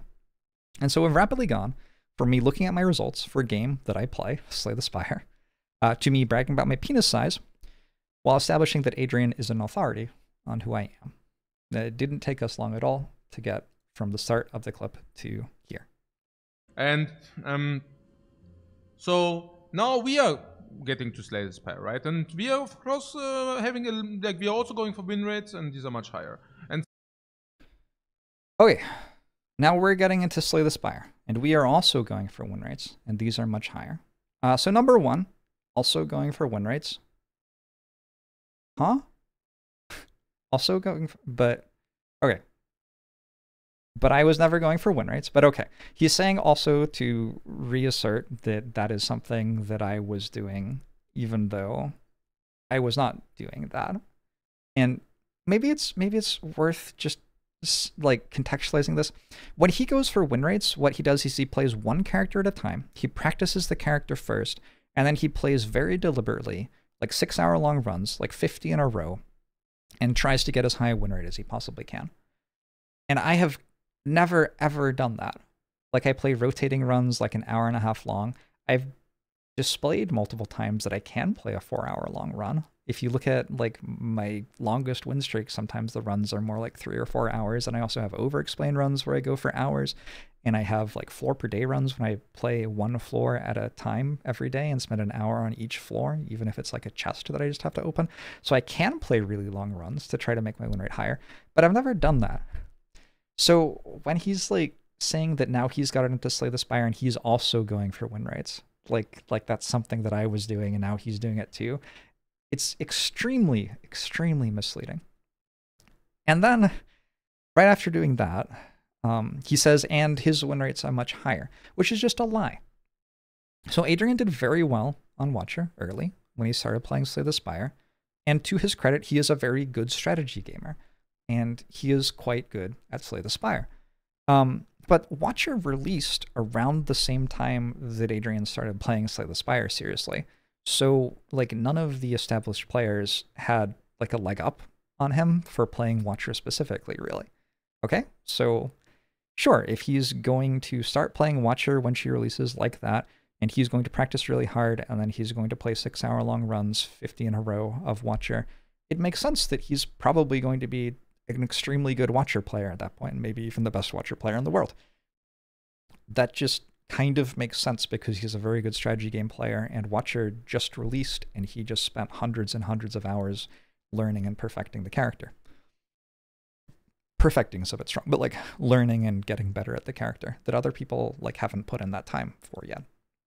Um, but at that time when he was also going for win rates, um, his win rates were not in general much higher than other people's. Um, which is just kind of obvious if you are a reasonable person and you just think about any game ever. Uh, other people had been playing the other characters for like a year or two at this point, and he came in and he had not been. And so, like, his first runs on Ironclad, Silent, and Defect were not just all him doing way, way, way better than anybody else had before. They were all him having substantially lower win rates than the people who had been practicing the characters for a year or two, because the other people are good at strategy games too. This is just kind of like obvious, straightforward. That's just kind of factually, conceptually how reality kind of has to work. Uh, and if you believe this guy saying that his win rates on the other characters were better than the people who had played the game for multiple years, like right when he started playing the game. Like one of the ways that you have to defend against people being manipulative of reality is you have to be able to say sometimes like wait a second no. There's no realistic way that that makes any sense whatsoever. And that's just something that doesn't make any realistic sense whatsoever. Um, for what it's worth though he was claiming at the time that his win rates were higher than other people's on the other characters as well. Um, so here's, for example, frustrated DM evidence of that from December 12th, 2020. I have exchanged one and a half DM conversations with Adrian. The first one was like, hey, I heard you talking about my me on your channel. You were misrepresenting my win rates. Uh, here's what they actually are for what it's worth, but also I would like just kind of prefer that you not talk about my win rates on your channel because I don't try to maximize my win rates a ton. I try generally to be a like enjoyable Slay the Spire streamer who does their best. Um, that was my first exchange with him, and he was like, "Okay, great, thanks." Um, this is at the start of my grudges video on YouTube. If you want to see the exact wording of all of these exchanges, um, but the start of my second exchange with him was after people had come into my channel to harass me about him because he had spent something like 15 minutes the previous night talking about specifically me and how bad my win rates were um, on his channel. And so I looked. I looked at what my win rate was, and I looked at what his win rate was. And over the last 80 runs, I had 147 of them, and he had 135 of his. So this has not at any point interfaced with reality. And I want to make it clear when I say that, I'm not trying to say that I'm better at Slay the Spire than Adrian. I am not trying to say that like currently my win rate on all the characters is better than Adrian's win rate on all of the characters or anything like that. I'm not trying to say that if we were in a tournament together, I would beat him. I'm not trying to say any of those things. What I'm trying to say is that his opinion of his ability at Slay the Spire and other people's opinion of Slay the Spire does not weave with reality. It does not respect or correspond to reality. He just makes it up for you. Um, yeah. And and that's basically always what he's been doing in my experience. Okay. Suddenly, the goalposts are getting like somehow switched, and suddenly win rates are not important at all, and suddenly it's only like he is only talking about streaks and bullshit like this, right? And all right, next sentence. It really is sentence by sentence. Um, so for starters, uh, win streaks have been the main competitive metric in Slay the Spire since Celerity sat on 50 on Twitch for a month or something before the Ascension system was even released. Win streaks are a well-known competitive um, metric for roguelikes in general. Um, I came to Slay the Spire from FTL, where win streaks were the main competitive metric. Win streaks are just a common way for people to compete at roguelikes. They're fun, they're entertaining, people like watching them, and this has been true since before I started playing Slay the Spire, let alone since before Adrian started playing Slay the Spire. Okay? Um, so it's really hard at this point to unravel, like, is there some sort of miscommunication going on here somewhere? And, and what does he even mean exactly, or what it has to do with anything else? Um, because he's making so much stuff up. And he is so liberally making stuff up that as I was reviewing this video, I was starting to wonder, like, what it, what is he talking about? What is it going on? Um, because it's it's so hard to disentangle the different things that he's saying. Like, I could respond maybe to all of a sudden win rates are not important at all, and all of a sudden he is only talking about streaks. If that was all that he said in his sentence, right? But in every sentence, like he's tweaking the framing of so many different things as negatively as he possibly can. So his sentence doesn't just make the false claim that I used to care about win rates, and then when he got better win rates than me, which he didn't yet, remember, he didn't even do that. Then when he got better win rates than me, supposedly, allegedly, in his opinion, what he's saying, what he's claiming, um, it's not even saying that when he got better win rates than me, I stopped talking about win rates and started focusing on streaks. It's also at the same time saying that streaks are bullshit. But streaks are like an established competitive metric for roguelikes since before Slay the Spire existed, and have been all over the Slay the Spire community for like the entire time that people have been playing Slay the Spire. And this is just verifiable. You can just like look up like YouTube world record streak Slay the Spire, and there's a video with like probably hundreds of thousands of views. and there's like videos of me talking with the other Slay the Spire players about our win streaks. Like if you look up Terrence and Baalorlord and Jorbs talking about their rotating world record streaks, you'll find us talking about those for three hours. It's like there are so many it's like he's juggling juggling false reality balls all over the place and every time he catches one he tweaks it even further um, into falsehood it's really remarkable okay next I mean, this it doesn't stop there, right? But he also kind of propagates that, right? Like also everywhere, like uh, suddenly saying that win rates do not matter at all, and win streaks are so much more. And I mean, there for what it's worth other than like the suddenly and the impression that I started doing this now, like he is right that I have said throughout my time as a Slay the Spire player that win streaks are more important than win rates. Um, and the reason that I do that is that they're a much more accessible competitive metric. Like anybody can go for a win streak, whereas for a win rate, you kind of have to like focus for hundreds of hours. Um, so I cared mostly about win streaks when they were like eight wins long, and it was like like any player could get a, a win streak in like under a week, and that's really exciting and it's really cool. And lots of different people were putting together win streaks, and it was a fun competitive scene. And Crimson Blur came in and tried to get Tenno oh rotating for the first time and spent six months on it, and it was a huge thing. And there was a huge Reddit post about it when he succeeded, and that was great. This was like competitive Slay the Spire in a functional form. Um, and yes, I have pretty much always been saying that. But because he's framed this idea that first I used to care about win rates and then now I'm saying that about win streaks, he's created a narrative where the reason that I'm now saying that people care about win streaks, which again, have been a major competitive metric in Slay the Spire since the game came out, not just for me, but for many other players, um, but now he's framing it that now I'm saying that I care about win streaks um, in like response to what he's done. Which, yeah, only two true. two options, you know. I mean, the one option is that he's a complete fucktard, like uh, an idiot, right? But I just assume. I mean, I cut him that slack that he isn't. I mean, he seems to be like a clever person to me, or at least like not completely dumb, you know. So I need to assume that he's doing that on purpose, right? Okay. So this is this is something called a false dichotomy. What he's doing now. There are only two options. Here I am, a human being he has never met. He doesn't know me. He's exchanged one and a half DMs with me. We haven't had a conversation. I've made myself accessible for conversation.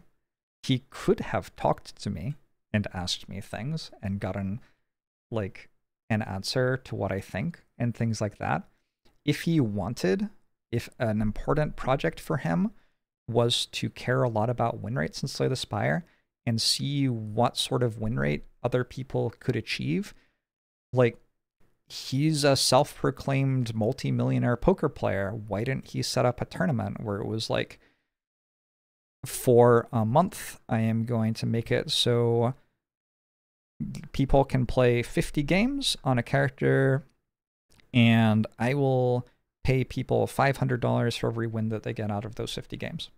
If he wanted to see what people could achieve in terms of win rate in the Slay the Spire community, he could have incentivized that behavior and gotten people to do that. But he didn't, right? Um, so anyway, um, having not done that, having not incentivized it in any way, and instead like just constantly disparaged the other people in the community and said negative things about them, etc., etc., etc. He's now creating a false dichotomy for me, where he believes there are only two explanations for my behavior. He doesn't actually believe this, I don't think. Sometimes it's kind of hard to tell with manipulators, they can get a false sense of reality for themselves, as well as imposing their false sense of reality on other people. But I don't think he actually thinks there are only two possible explanations for this. Um, but he's saying that he thinks that there are only two possible explanations for this, and like we'll take him on his word for that, I guess. Um, but he's saying that one possibility is that I'm a complete fucktard, I'm an idiot. Um, I don't know why that would explain this, really. I'm not sure. Um, but anyway, the other explanation, in his opinion, is that I'm doing it on purpose, which I at least interpret to mean he thinks that I am kind of like warping reality against him, which maybe makes sense to him in his mind because he thinks perhaps that warping reality is something that people regularly do. You have to like I think that it says something of a person's mindset that like he had a personal project in the Slay the Spire community. He really wanted to care about win rate and wanted other people to care about win rate. And then when somebody didn't want to do that, his only explanations that he could come up with for why they wouldn't want to do it were one, that person is an idiot, or two, that person is manipulating me. In terms of like the plane of possible human experience and motivation, uh, those are two very narrow points of human motivation and two extremely specific ones to uh, what seems to be going on here, where he seems to think that he's better than other people, and he seems to think that manipulating other people is just like a normal context of life. Um, but yeah, another very simple explanation um, to explain what he is presenting as only possibly being explained by two things in the false dichotomy, and like the reality is that he invented the focus flip, and basically nobody competed over win rates in Slay the Spire before he arrived in the community. And there were some minor conversations about it and some reporting, but there were absolutely no win rate competitions. And I am close to 100% certain that all of that is true. Like competition in Slay the Spire existed for win streaks, but prior to him coming into the community, I don't think anybody really competed over win rates. And while he presents the idea that now people do compare over, compete over win rates, they kind of still don't there are very few people who are like, I'm going to play only one character and I'm going to play 50 runs on that character. Um, compared to the number of people who play Slay the Spire in total. And within those people who say, I'm going to play 50 runs on a character, uh, uh, the number of runs that people play changes. Whether people will repeat a character over and over again changes which character they are playing changes. Whether they care about the last 50 runs or the last 100 changes. Whether they care about the 100 before that or not changes. So there isn't really still any defined competitive method for win rate competitions in Slay the Spire, uh, even within what he is doing. He's suggested an, a hyper, hyper specific way to compete about win rate, which was to play one character 50 times and see what your win rate was. But then he will do things like having done that, play another 50 times on the character. Or he will play 100 times instead of 50, changing how many times you are meant to play. So even within his own behavior, there isn't a competitive, normalized way to do it in the way that win streaks are normalized, where it's like you have to win 10 times in a row to win 10 times in a row. Um, which interestingly, he warped that as well at some point, which I, I will mention in passing later. Okay, but that's that's his false dichotomy. Cool. Right. And at that point, I also have a personal opinion on that, right? Because I'm I'm I'm very invested in win rates, and I I try to prove a point here, right? And uh, having somebody who's kind of trying to invalidate this point is just like super annoying. Like somebody running around and spreading misinformation while I'm trying to actually spread information, educate on this topic. Okay. So talking back to ego defense and self-idealization as a as a reason that people dehumanize others in strategy gaming, I feel like this is a really good example of it I don't know if that's exactly why Adrian is doing it here, but it just kind of stood out to me as like, oh yeah, that's exactly the sort of point someone would try to say. So Adrian is trying to say, I'm trying to prove a point here. He's trying to prove a point about win rates and them being a good way to play Slay the Spire. They're important. They're more important than win streaks, etc., uh, etc. Et I don't actually entirely know what he's trying to prove um, exactly. Um, the entire thing has always seemed a little incoherent to me. Like I was just saying, there's like not a consistent way to do it and stuff. I'm not entirely sure what it's meant to all mean. Um, and then he will like talk about other people's win rates, but those other people didn't play 50 runs in a row of the same character, and so it's like, wh- what? How did you get the other person's win rate, and how are you comparing the two? And it's always been kind of bizarre to me. But anyway, he's trying to prove some sort of point. I'm not entirely sure what it is. And having someone who is kind of trying to invalidate this point is just super annoying. That is such a self idealization ego defense thing to say. Um, usually, in my experience, if I try to prove a point and somebody else tries to invalidate the point, that's like normal human interaction. I might call that debate. I might, you know, you could call that an argument, but it doesn't necessarily have to be mean spirited. This is just like exchange of ideas between two people. And in a situation like that, maybe I am right, maybe I'm wrong.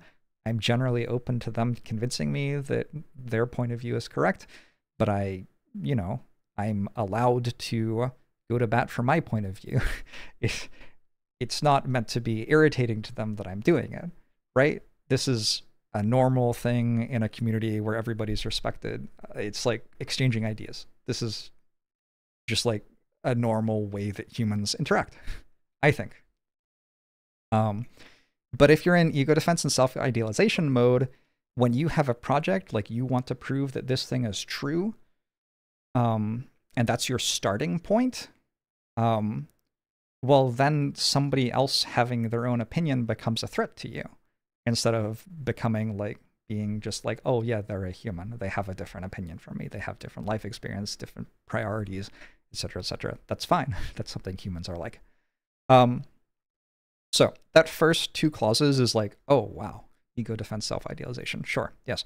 Um, and then he he also goes further and and frames me thinking a different thing from him as someone running around spreading misinformation while he's trying to spread information and he's trying to educate on the topic.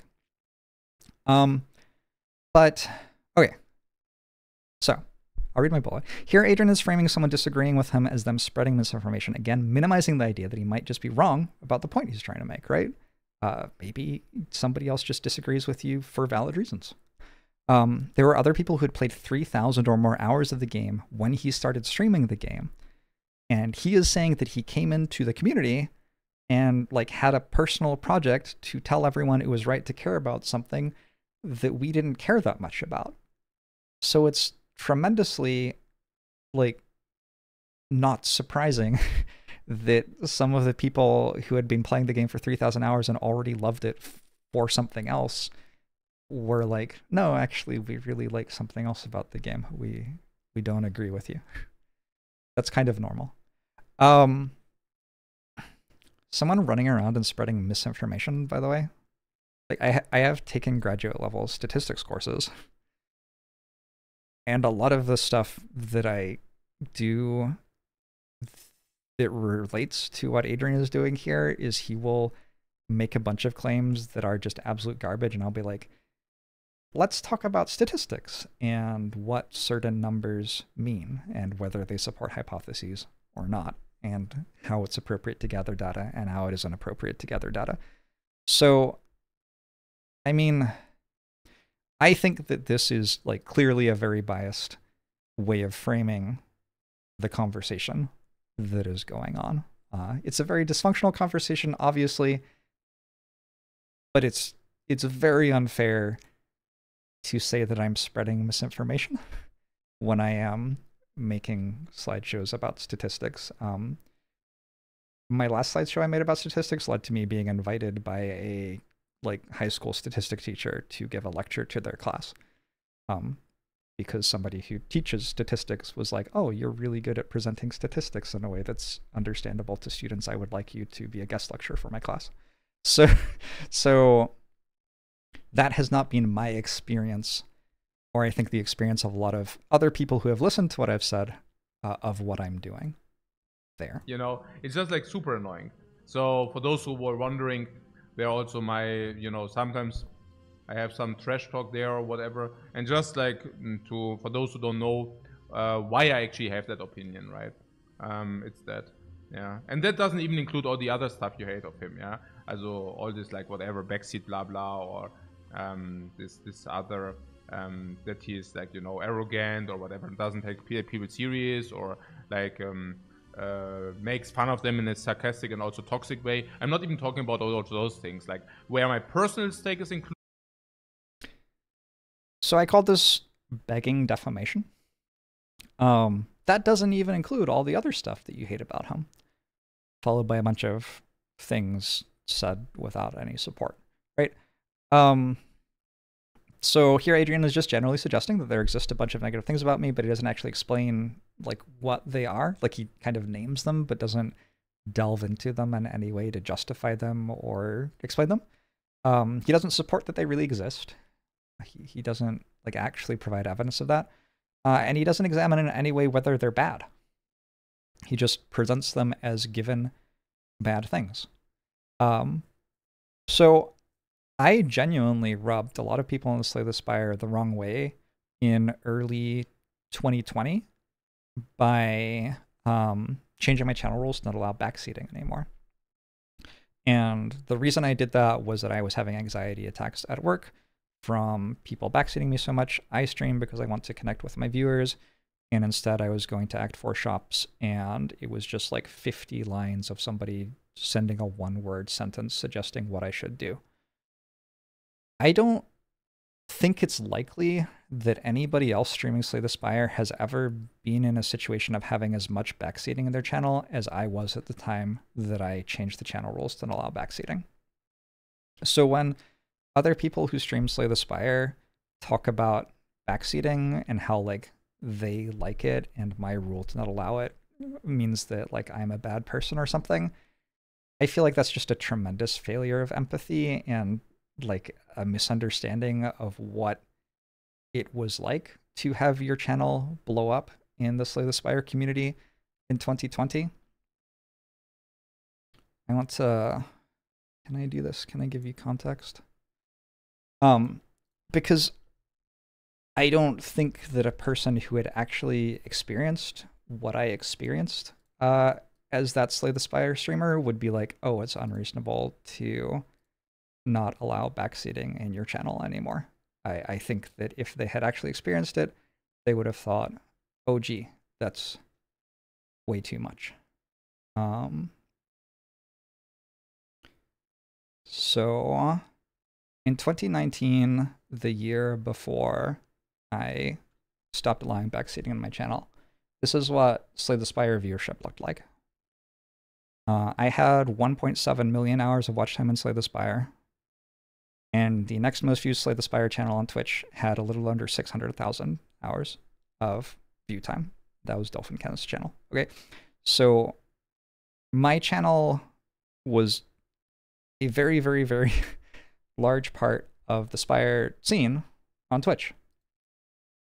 And because of that, it got a lot of traffic from a lot of people and they said a lot of things and I had to like make rules and then start enforcing the rules eventually because I was starting to have anxiety attacks from there being so many people. Um, and so what I'm trying to say in a long-winded way is um, I like banned a decent number of people from my channel who felt entitled to behave on my channel in ways that were against my channel rules and stuff like that. And when I hear Adrian say this doesn't even include all the other stuff you hate about him, it's really hard for me not to think that he has welcomed like people I banned from my channel into his channel and um catered to them in a way that I was unable to while I had a much more viewership than he did at the time and kind of like is feeding into the things that they don't like about me and that's why they don't like my channel because if I have 1.7 million hours of watch time in a year, that is going to result in some people not liking me. That is just, it's just kind of impossible for it not to, unfortunately. I don't know. Are there any people who dislike Bob Ross? Maybe if I were Bob Ross, it would be possible. It's possible. I, I don't really know. Maybe. It's just about this win rate and skill measurement thing where kind of my um, my effort is being basically um, dumped down by misinformation. That's kind of where I have my stocks in. Yeah, that's why why I actually disagree with his views and stuff like this. All right. So now, like Adrian has really like toned it down. I feel like his tone changes a lot as he is speaking in in this like sentence or paragraph maybe. Um, he's trying to be personable and explain his stance here, and he's saying like, yeah, he trash talks me, but it's not about all the other things which he will nevertheless list um, as negative characterizations of me in front of his audience without any evidence. Um, it's not about those without any evidence or further thought or attempted understanding. Rather, he's trash talking me because of this thing where he really wanted win rates to be a big deal, and I didn't like that. That's why he's actually trash talking me. Um, and I'm calling this justifying bullying. I think that once somebody is manipulative, they will very commonly justify the way that they are behaving. And they'll justify the way that they're behaving externally. They'll say, like, you make me so mad with that behavior as an explanation of why they are yelling at someone uh, or something like that. At this point, Adrian has spoken extremely negative about me for five minutes in front of a live audience of hundreds of people. Uh, he's presented himself as an authority on my life and motivations. He's created a false dilemma to explain my motivations without real examination. He's openly lied several times. Uh, and now, in a much more civil and down to earth tone, he's explaining that he does that because I don't think measuring overall win rate in Slay the Spire is something everyone in the community should feel obliged to do. Um, he's using an online platform to bully me, yes, but he's a reasonable bully. See? Um, yeah, this kind of stuff is extremely exhausting to respond to. This is not like the only time that Adrian has just talked about me on his stream in extremely negative ways for an extremely long time. And this is also not something that he does as a long form bit um, regularly. It's also just like short snippets constantly. When he gets a new record on a character, members of his chat will joke about how like that proves that he's better than me. Uh, I did a control F for my name in his chat over the last couple of months, about a month ago, and almost every message about me was negative. Uh, there were viewers there who were like, oh, I like watching Jorbs' video, you should check this one out, and then his chatters would make fun of them for watching me. Um, I was generally like spoken about extremely dismissively and negatively by his community. He has created a, an environment in which there's just normalized bullying of me. Uh, and he's saying that it's justified. So, we change topics now a little bit because even though Adrian says that the only stakes he has in this are that I don't think win rate is important as he does, he is not above talking about me negatively about other things as well. Um, okay. So, um.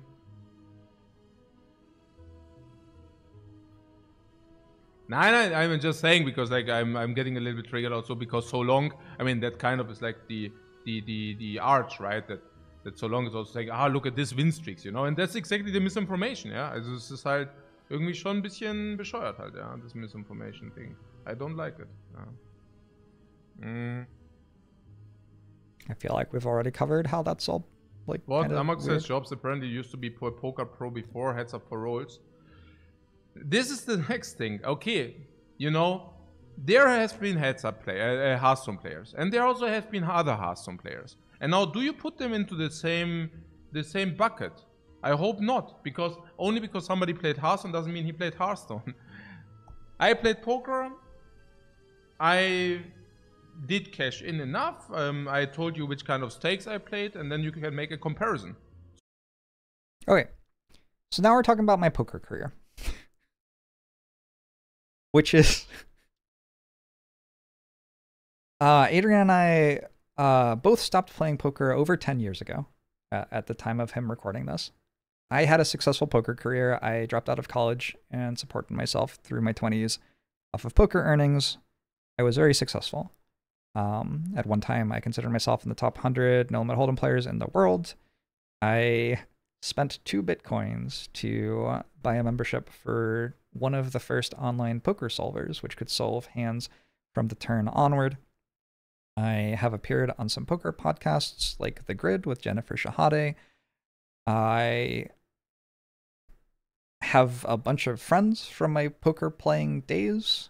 Uh, I I was a poker player as a career for four years.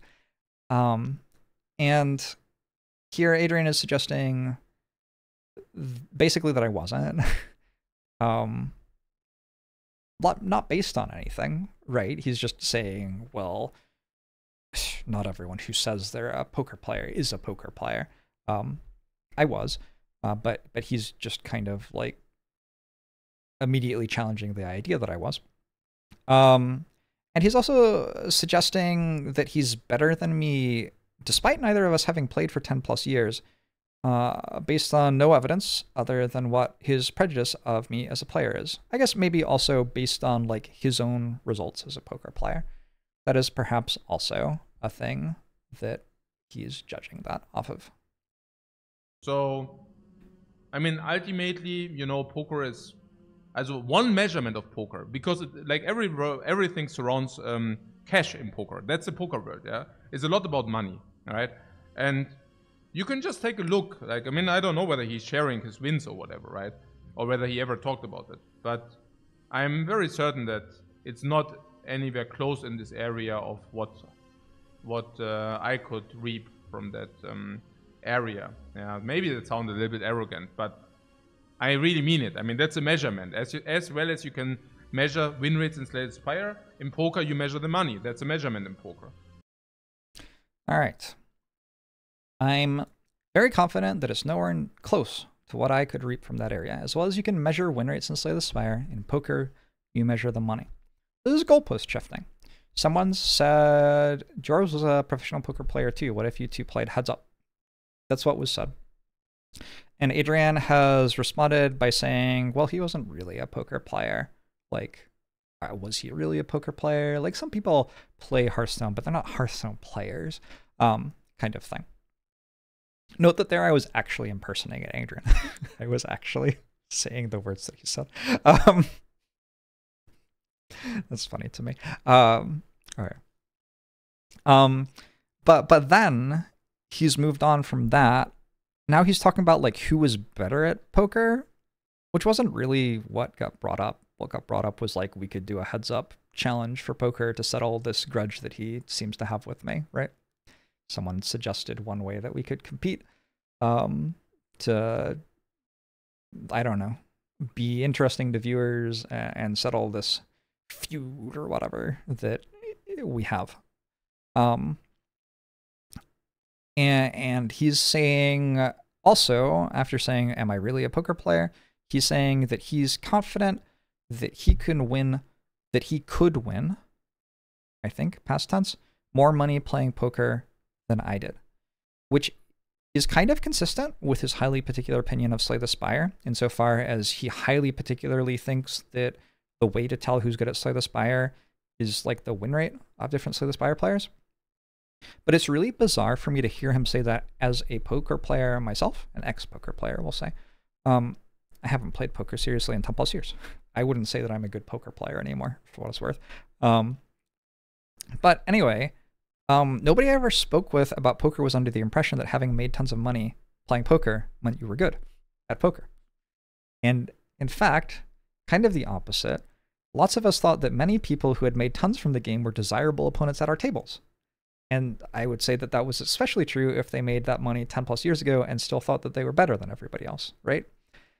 Um, there is some sort of correlation between being good at player and making, being good at poker and making lots of money at poker, but it isn't fully causal and it isn't necessarily long lasting. Um, and I also want to say, I think this is the first time that we get into internal inconsistencies If someone is warping reality and making reality something other than what it is, they're basically lying, right? And if you tell lots and lots and lots of small lies, which is what's happening here, like kind of every sentence has a small lie in it. Um, maybe it's not a full lie, maybe it's kind of like a misframing, or maybe the sentiment is a little bit negative, more negative than it ought to be. So maybe you wouldn't call it an exactly a lie, but we're slowly changing reality over and over and over and over again. But if somebody does that, you end up with inconsistencies that you're noticing in how they present reality over the course of time. They make statements which are internally inconsistent with other things that they've said. So, for example, if you look Adrian up and try to find out about his poker experience, which was something that I did after I saw him doing this, I was like, oh, you're really good at poker. I am curious what that means. You will find him saying that he felt like he was selling years of his life as a slave and that he considered the way he played to be unethical now. Um, here, here's a clip of his. Um, this is Lifecoach, life lessons, poker story, and financial independence. Um, just saying, nowadays I don't think that. Nowadays I think it's unethical. But back then, I... so it's really weird that there he is saying that about poker. He's he's describing one of the ways that he played poker to make as much money as possible, basically, um, and saying that nowadays he wouldn't have done that. He thinks that that was unethical. But then here he is talking about me, and he's saying, well, I could make more money than him. Uh, that's the measurement of whether you're good at poker or not. So I'm pretty comfortable saying that I'm the better poker player, which is really hard to reconcile. Um, I could have made more money playing poker if I didn't care about ethics at all. Uh, 100%. In fact, I stopped playing poker largely because it was frustrating to me that being deceptive and kind of skirting the rules of sites um, was the way to make the most money, and that wasn't something that I was interested in doing. And and funnily enough, Adrian expresses the same frustration about poker um, in his video.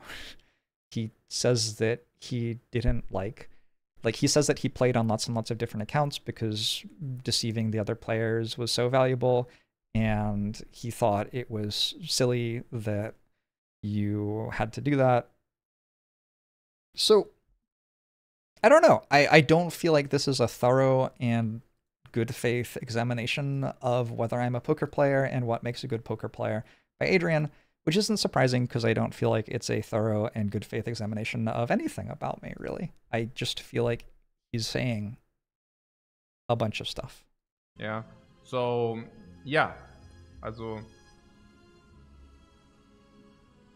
Naja, egal. Na gut. Na gut. Ja. Because that's also what I heard very often. I also heard it all the time. Oh, but he was uh, also ex-poker player, and I'm like, yeah, okay, yeah. I mean, who didn't play poker at that time, guys? Yeah. Right who didn't play poker at that time? I keep on hearing over and over again that Jorbs was an ex poker player. So, who didn't play poker at that time? The vast majority of people didn't play poker at that time.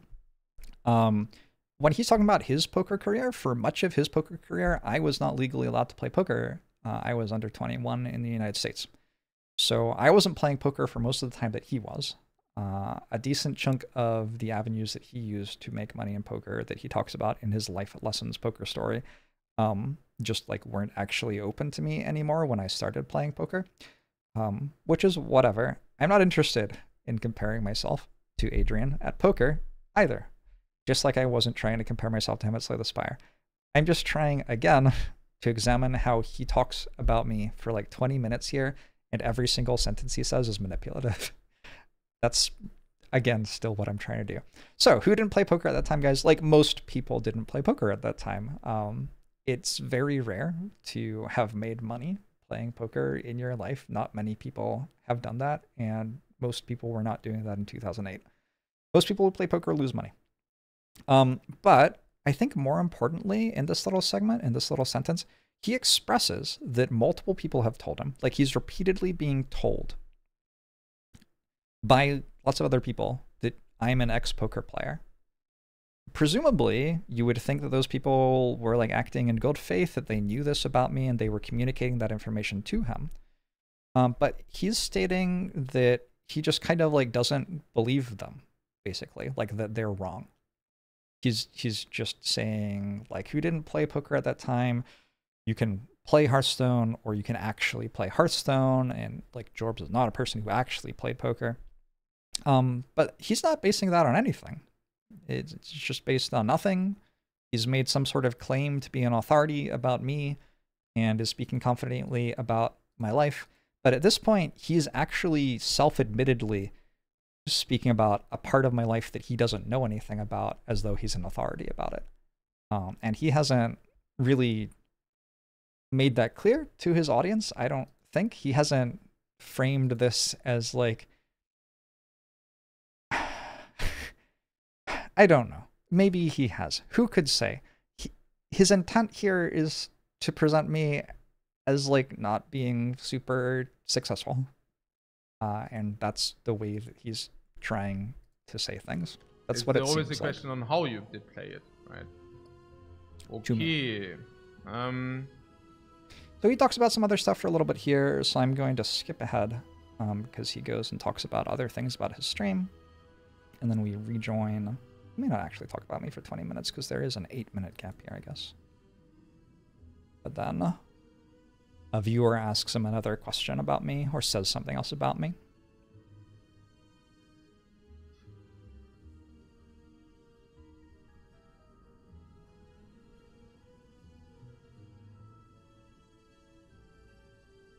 I said it was 20, 40, 40, but apparently I was wrong.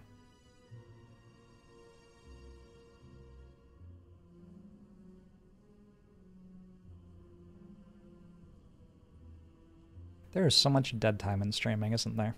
Gosh.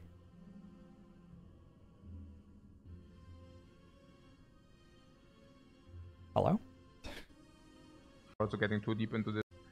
But Wallaby says nowadays Jorbs openly talks about how good what rotating win rate is. Yeah, let's let's keep it the last Jorbs comment, but um, because I think we are also getting too deep into Nowadays, this. But Jorbs uh, you're openly... saying Somebody says nowadays Jorbs openly talks about how good his rotating win rate is. Do I? Did I? I find that so weird. One of the one of the things that I felt was an accurate characterization of me around about this time was somebody talking about competition in Slay the Spire and saying like it's like pulling teeth to get Jorbs to tell you what his win rate is. Like I wasn't making my runs available, I wasn't publicizing my win rate from my runs, and I generally wouldn't say what it was on my stream. When somebody asked me what it was, I would say jokes like that it was 69% and that uh, if I kept on improving at this rate, it would soon be 420%. Like, I very, very deliberately moved away from talking about my win rate because um, Adrian's viewers were constantly challenging my win rate and trying to compare us over win rate because that was what he was trying to do. And this is like a single player strategy game, which I wasn't playing to compete with somebody who was a pernicious manipulator. so I didn't want to engage with that. Um, but yeah. Um, okay. Anyway, apparently somebody else says that I did that. I don't know why, but Adrian's into it. uh, why don't you try uh, and enter the arena that you what blah blah blah also um, about the rotating naja look we've already done that you know Oh, I missed it actually. Shoot. Okay, I'll try to go back. whatever I wouldn't make my decision upon that but I'm just saying um, content, yeah I mean there will be people who are very interested in that and will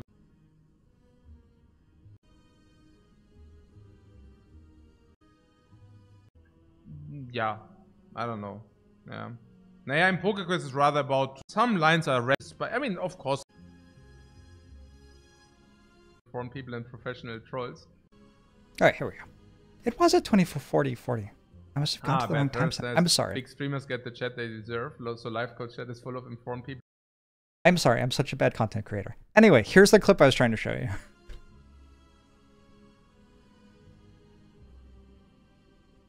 Ah, Better says big streamers get the chat they deserve. So Lifecoach chat is full of informed people and professional trolls, and Jorb chat is full of the same two jokes over and over and a bunch of deleted comments.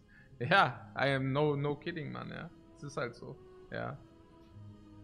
But it's it's very uh, like what you say. It's like so positive. I, I really like it. I mean, having a readable chat, it's and that you can have like interaction. It's also like for me, you know, I'm learning from my chat too. It's like great, you know, I love it.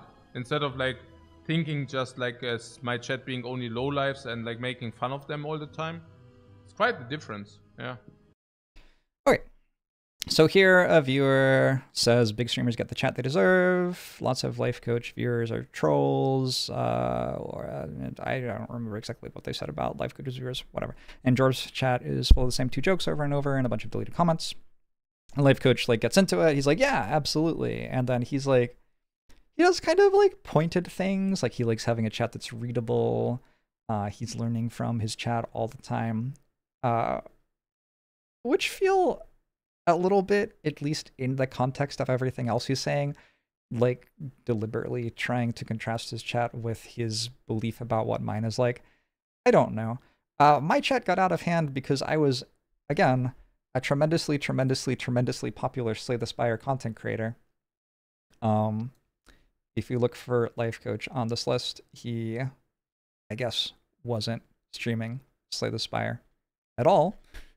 Um, and if we go to the next year, um, Lifecoach did start streaming Slay the Spire in 2020, but if you look at it, he streamed um, he streamed like more than twice my hours and got less watch time than me. I had three times the number of viewers that he had.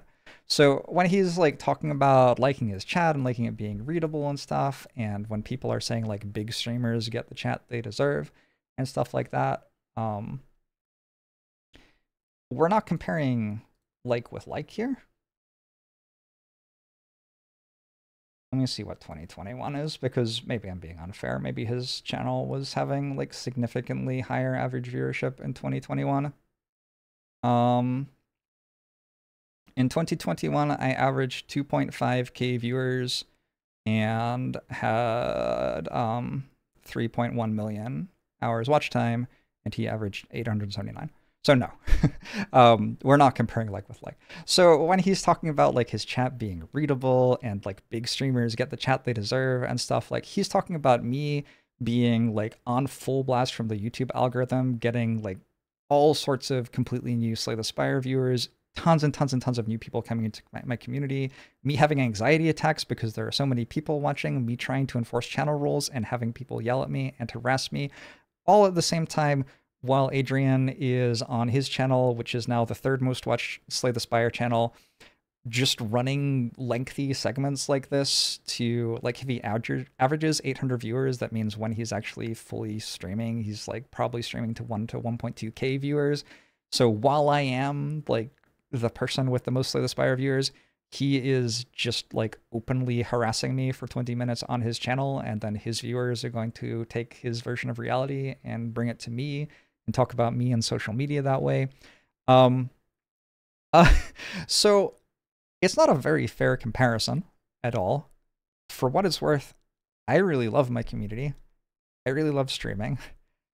It's really weird to me to hear someone suggest that I don't, because if I hated streaming, I just wouldn't do it, right? Surely. Um, but that's what he's he's trying to do here. So yeah, I don't know. Um, I think the manipulators love to get other people involved in reinforcing their vision of reality. So I think that when you're being manipulative about someone and you're saying reality is this way, reality is this way, this is what reality is, etc., etc., etc., etc., um, and then someone else comes along and is like, yeah, and decides to reinforce that and like agrees with you, uh, like yeah, it's unsurprising to me that he would roll with that 100%, and he does like roll with it. He improvises a little bit here and starts talking about the nature of the chat of my channel, which, like, to my knowledge, like he's never sent a message in my channel and doesn't watch my channel, so I don't know why he thinks he knows what it's like, really, but he thinks he does. Um, so cool. Um, I think it's important to note here that Adrian is making up a version of my community here. And a bunch of the deleted comments from my channel that we're talking about, um, for what it's worth, also, because like insofar as same two jokes over and over and a bunch of deleted comments is somewhat of a reality coherent um, criticism of my channel insofar as I stopped allowing backseating during this year. And like, yes, my community has in jokes, obviously. I think that saying that my channel has the same two jokes over and over is kind of like observing that Adrian's channel insults other people in the community over and over. Like, okay, we both have channel cultures. Sure. That was me kind of framing things manipulatively back, you see. Although I think that I adhered to reality a lot better than he does. Um, one of the cool things about strategy gaming and being a strategy gamer is that when people are very manipulative toward you, you're like, well, I can see how I could manipulate them back. Um, and, you know, choosing to be a good person requires that you don't do that for the most part. Um, there was a really heated conversation that I had oh, it wasn't so heated. Maybe that's the wrong word. Uh, when my friend was getting abused in a relationship by this other friend of mine, the other friend worked out that I knew and then like kind of made a big deal about it and then was there was a day where my friend blocked him and like on every messaging service my friend regularly did this to try to get him to leave them alone.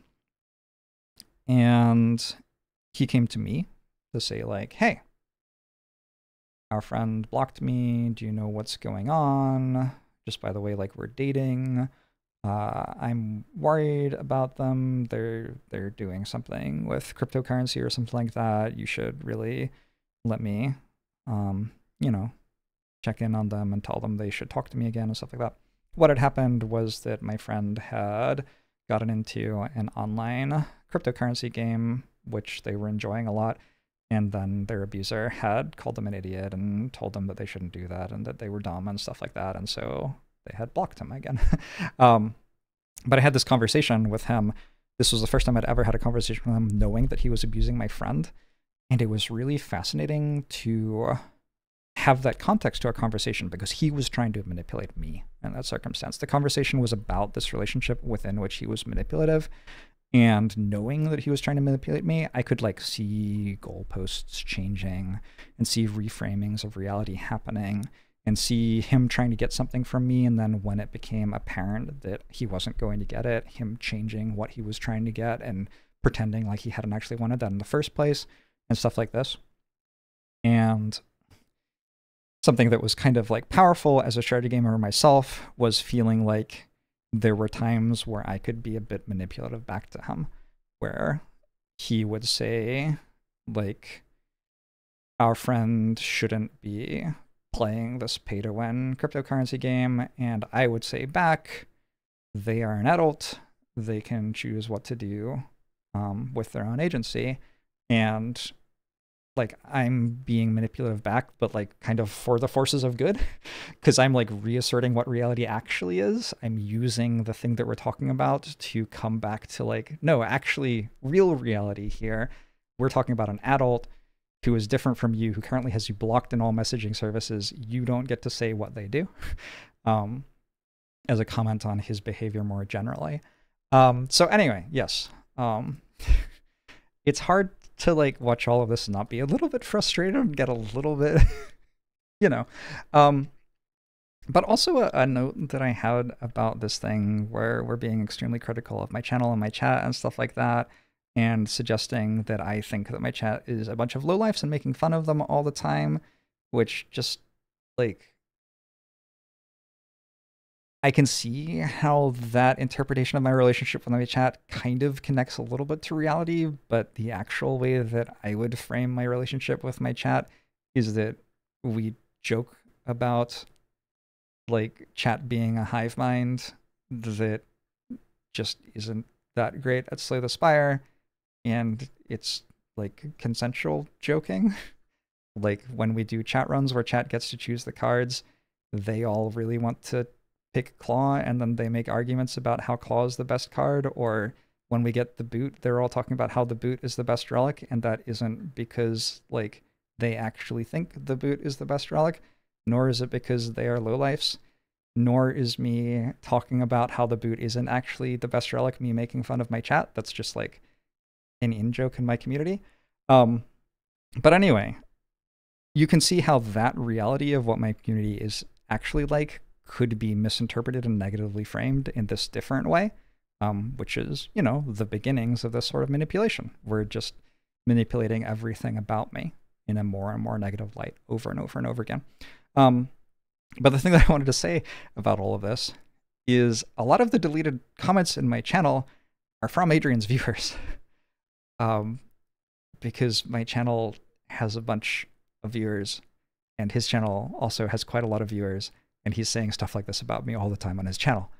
Um, maybe not all the time, but frequently enough that it is characteristic of his channel and normalized on his channel to speak about me in this way. Um, viewers come into my channel from his channel to harass me.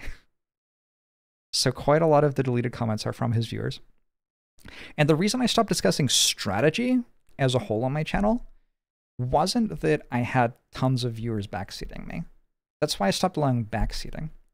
But the reason that I stopped discussing strategy as a whole was that I found that whenever I talked about strategy, like this is how I think that you should play Slay the Spire types of comments, I got the thing where he opened that Reddit post that I showed you earlier and like was extremely negative toward me and talked about how I was arrogant and stuff. I would get that from him if I did that. And it just wasn't worth my time. It wasn't worth my time to receive that sort of harassment, etc., etc. So I largely stopped talking about strategy, and that's largely why my channel doesn't have that sort of communication on it anymore. It's directly because of him. Um, I will say I had the agency to make that choice. Perhaps I could have stuck through it, but it became incredibly unpleasant for me to continue talking about strategy on my channel because I was getting harassed by people who wanted to talk about him all the time. Despite it being inappropriate, despite my channel rules saying don't bring up other streamers, despite me muting his name on my channel chat because so many people would bring him up to harass me, people would still ask me about him just constantly, nonstop, all the time.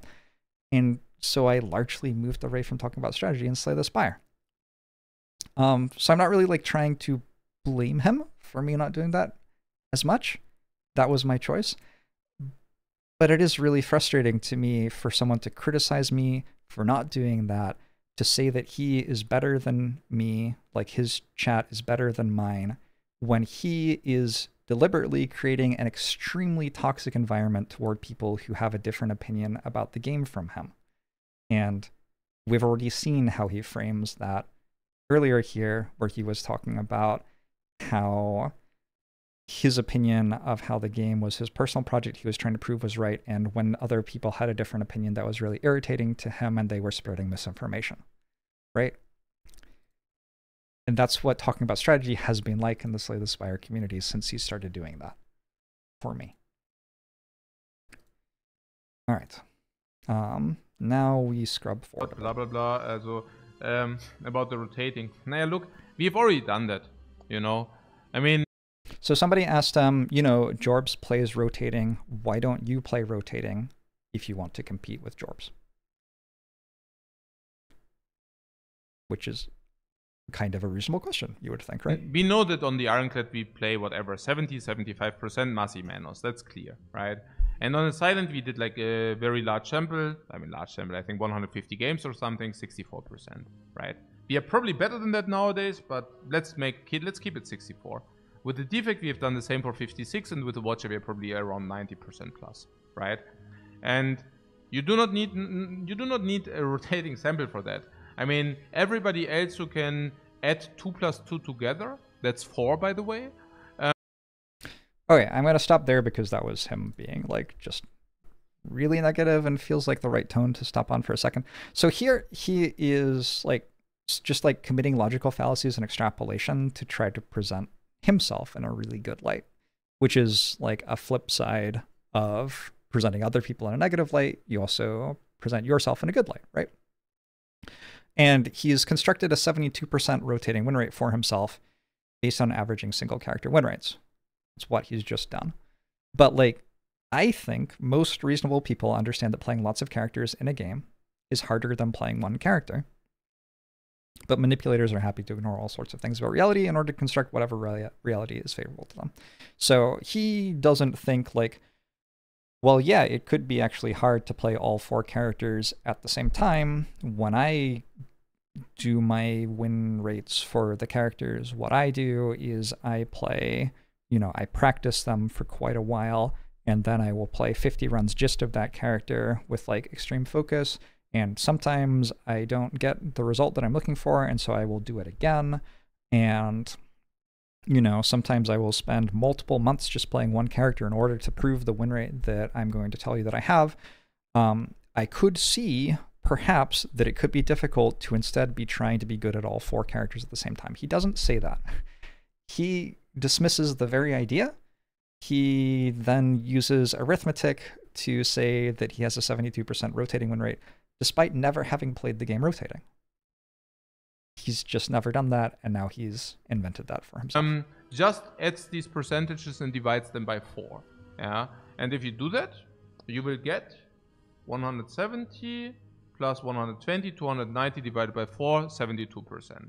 Yeah, and that is probably also most likely our rotating win rate, 72%. Um, I assume last time I checked, I mean, I, I think I know I just wanted to pause that. That is such a massive. You could do a lesson of a statistics class about how bad that was. Um, something that really stresses me out about that, as someone who cares about statistics, is that there's no expression of uncertainty. So he played some amount of runs on like Ironclad and got a certain win rate. That doesn't mean that that is his win rate for a variety of reasons. One being that he played those runs like however long ago. So now he hasn't played Ironclad for however long. Uh, actually, in this case, he just played 50 runs of Ironclad, so that's a bad example, but like we'll say for Silent instead of Ironclad. Um, that's one reason. But another reason is that there is variance in 50 runs of Slay the Spire. And so if you got a result in 50 runs, you would say, like, I have 80%, like plus or minus 5% based on my sample size, right? And you can't just arithmetic four different samples like that, add them together, and then average them, uh, and then still not have any expression of uncertainty. It is not most likely that his win rate rotating was 72%, even if it were possible to play the same on Ironclad Silent Defect and Watcher as he had been when he was focusing on them individually, it is far more likely that some amount of variance existed um, than that his win rate is actually 72%. Um, another thing that he's done in terms of expressions of uncertainty is I've seen him present his win rates as a lower bound of his win rate, which is also really weird. So he'll say that his win rate with Watcher is 90% plus, instead of saying that it is perhaps 91% plus or minus 3, which is really fascinating because, like, anybody who has ever seen statistics anywhere, I feel like, knows that that's not how you express uncertainty around statistical numbers, but it is so succinctly how you would frame statistical numbers to try to make yourself look as good as possible by saying it's impossible that it's below 80 or below 90, which just isn't really like true. Um, and also by creating a lower bound like is it 99% well your expression of uncertainty didn't say that it wasn't. Um anyway his statistics stress me out as somebody who has studied statistics. Um yeah. Oh more more where you're coming from because he kind of high rolled in the last last time he did like the i spam as many games or whatever like this super challenges where he counts his wins. And i think he was like around 65% rotating in this uh, in this uh, sample I mean, that was a high roll. I'm also very certain of it. We will see. Maybe he does another rotating sample again. But uh, a lot of data points speak for a massive high roll there. Or okay. So now he is trying to do statistics on my games. And I want to talk about ways in which he's framing this incorrectly. Um, okay, so first of all, he's misrepresenting a volume challenge as me playing to maximize win rate, right? And he says that out loud in his analysis. He kind of high rolled in the last time he did the I spam as many games, uh, these super challenges where he counts his wins. He says that that's what I'm doing. He says that that is the thing that I am doing. He says that that's reality. And then he immediately analyzes that as though it's a correct representation of my win rate. Like, like the best win rate I could achieve. He has very clearly stated that I'm not trying to maximize my win rate. He's very clearly stated that I'm trying to maximize the number of wins I can get. I'm spanning as many games. It's a super challenge. These are volume challenges that I would do where I would try to get 100 plus wins in a month. And I was very, very clearly to anybody who was watching not trying to play at the highest level I possibly could. Uh, I would regularly buy Prismatic Shard. I would dig on every run. I would play really long hours, such that at the end of the stream, I was hallucinating and pressing end turn with apparitions in hand and just dying. Like, nobody who watched those was under the impression that that was me playing for the highest win rate I could possibly get. And yet here he is, first expressing that he understands that that's what I'm doing, and then using that to try to analyze my win rate, which is kind of weird. But also within that, he's saying that he thinks there are a lot of data points which speak for a massive high roll, with me getting 65% higher uh, rotating in that sample, which is weird. Uh, which data points exactly would those be? Because what? what data? How did, how, what? Maybe he's gone through all of the runs and seen that I got Runic Pyramid more often than usual or something. Uh, I, that wasn't my impression, but maybe he has. I don't know. Um, but there's also within this, we talked about internal inconsistency a little bit earlier, right? Remember, like, quite recently when he said that I had a 40% Ironclad rate and a 48% Watcher win rate, and that, like, those were valid. Um, those were genuine win rates. But now he's talking about me having 65% rotating win rate over like over 100 runs. So reality is over over the course of less than 15 minutes, reality has been torn asunder and we're living in a reality where two completely contrasting things are being presented as true and then he's trying to minimize both of them. Uh, I also wanted to add for actual reality context, Adrian recently tried playing rotating for the first time and won 63% of his runs, and my ro recent rotating sample, I won 77%. I am still not trying to say that I'm a better Slay the Spire player than Adrian. I just wanted to add some of my own reality to his expression of his reality. At least a high roll. But even if it would not have been a high roll, 65 is considerably worse than 72 in all aspects, you know. So mm, it's pointless, you know. Also, um, I know what you're referring to. Like he's he's always moving goalposts and also shifting the reality, pinpoint specific samples and then breaks with them. If you ask me personally, I think he's just a freaking loser and a so. Second. We'll get into the name calling. First, I wanted to address the always moving goalposts, etc. Pinpointing specific samples and then bragging with them. Like, what he's describing is me playing Slay the Spire and then sometimes challenging myself to do things. And if I succeed at them, I will, like, communicate that I've done it in literally any way. Like the first time that he described me as bragging, it was me looking at the results in my run history in my Slay the Spire game on my own stream, for example. Um, but also I will like make a post on Reddit and say, here, I managed 80% rotating win rate for a month. Here's how I did it and made a bunch of strategy advice and got 2.1 thousand upvotes from a lot of people who enjoyed that because I'm a Slay the Spire creator, right? So I talk about Slay the Spire strategy sometimes. Um, um, but the thing that's interesting to me about this like moving the goalposts thing, uh, I titled this slide Entitlement to Behavior, which I think is something that manipulators express sometimes. And there's this really interesting interplay between entitlement and arrogance for manipulators. If someone feels entitled to you doing something that passes your boundaries for what is acceptable, they run into your boundaries, right? And then you express, like, no, I don't want to do that. That isn't in my own interests. I'm not interested in it. I often find that the next step after that is to call you arrogant. So you think that you know better than me. So your perspective is better than mine, is what you're trying to say, basically, right? That's like kind of the next step when the entitlement gets rejected. That's a common form of trying to frame someone expressing their boundaries against your own entitlement in a negative way. And I run into that a fair amount as a Twitch streamer when people will break my channel rules and then get timed out. I will then have them tell me that I am arrogant. um, which isn't what arrogant means.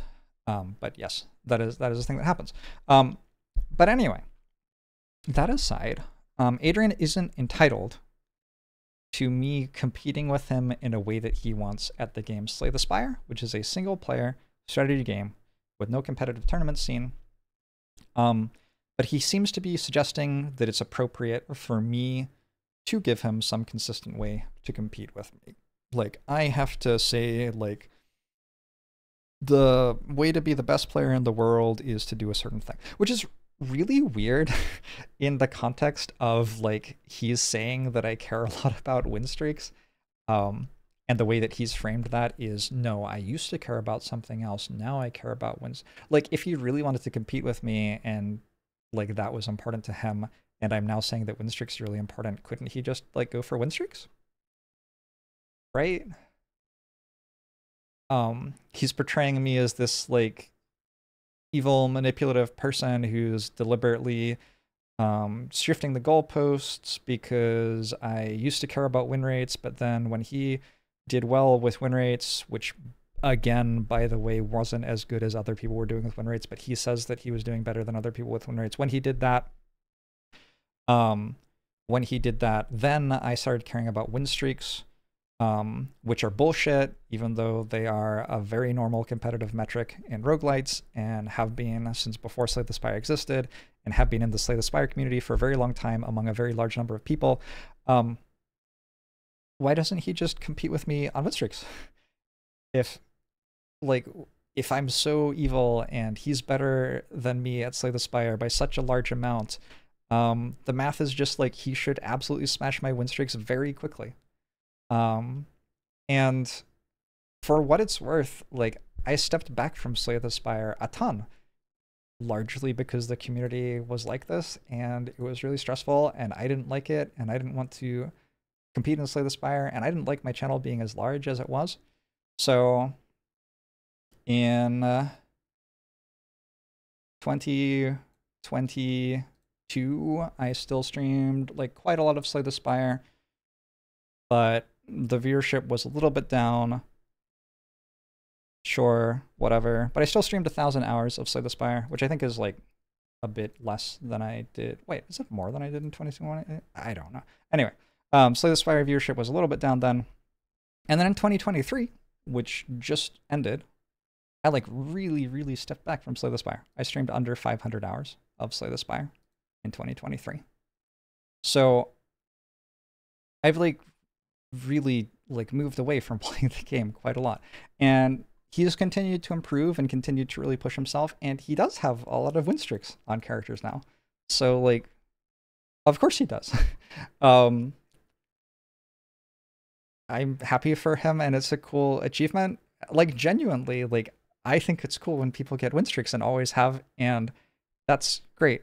And I wish that when he got win streaks, people didn't come into my channel to insult me. Um, but it's cool that humans are still getting better at Slay the Spire, this game that I love extremely, extremely, extremely heavily. That's great. Um, but, but he doesn't do that here. He like won't say that he's going to do that, and it's it's kind of weird. Um, and also, like, I have competed for world records with other players in the past. So, like, I have done the thing that he's saying I should do. I have competed with Terrence and Baalor for the rotating world record. I mean, lots of players, but Terrence, Baalor, and I all set new rotating world records within a two week period one time. And that was like really awesome when we got on call together and talked about those world records together for like three hours. And that was great. And then Baalor and I both had world records last year. I set 17 and he set 20, and that was awesome. And we got on call together and talked about those.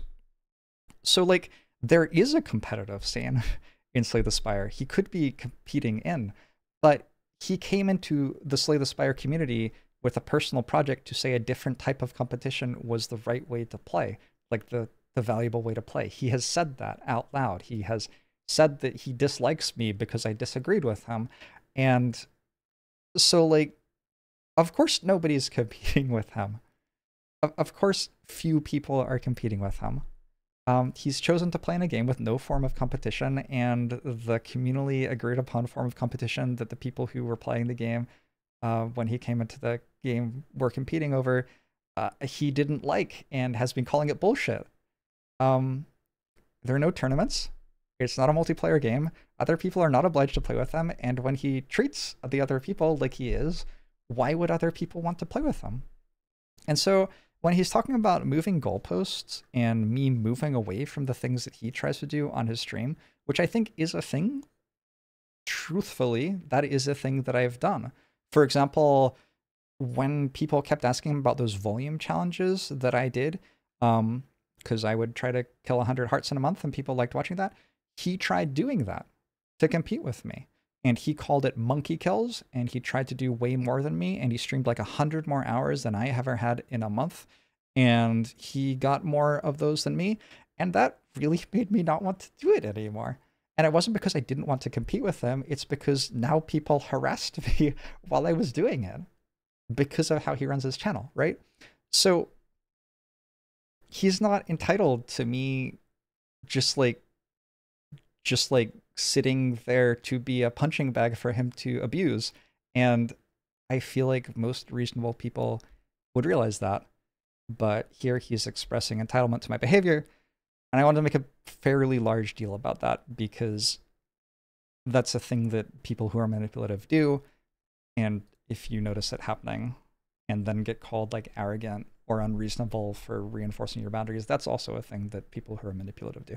All right. Anyway, then we get into ad hoc. And also shifting the reality, pinpoint specific samples and then brags with them. If you ask me personally, I think he's just a freaking loser and a sore loser as well, right? On top of that. All right. So this is just name calling. Uh, it's really jarring to hear stuff that's like just name calling. Earlier, he said it was possible that I was a fucktard, uh, but but that there was another option, uh, which was also kind of weird and like mean. Um, but yeah, this is just name calling. Um, I have encountered name calling extremely rarely in my adult life. It is not something that adults that I know do. But here is a guy targeting me with it on stream in front of hundreds of people and having them support him. So that's really weird. And obviously, name calling is not great. Uh, and if you let people get away with it in your community regularly, you're probably not going to end up having a very good community. Uh, I think Adrian being extremely negative toward other people who play the Spire, because he hasn't just been negative toward me. Um, I am one of the people he has been the most negative toward, maybe the person he has been the most negative toward, but he's been very negative toward other people and other people's way of playing and enjoying the game as well. Um, yeah, I think that has made the Slay the Spire community quite a lot worse.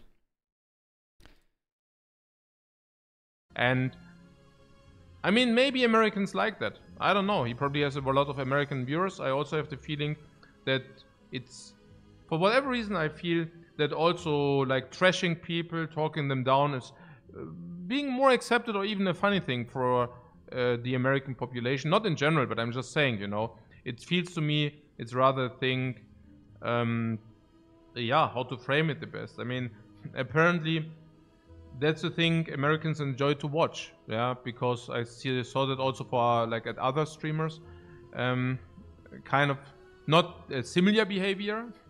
Also ich glaube, so einen Kotzbrocken habe ich noch nie gesehen. Aber, but, also such a douchebag, I think, I mean, like from the arrogant way of thing, I think he's pretty much on the top, you know. But um, uh, this honestly. I mean, uh, I don't even have any stakes in that any longer. It's uh, what can I say? Yeah, it's uh, I don't like him. I guess he also doesn't like me. I mean, I've never heard. All right. Um. So he just said a bunch of weird shit about Americans for quite a while. Kind of weird.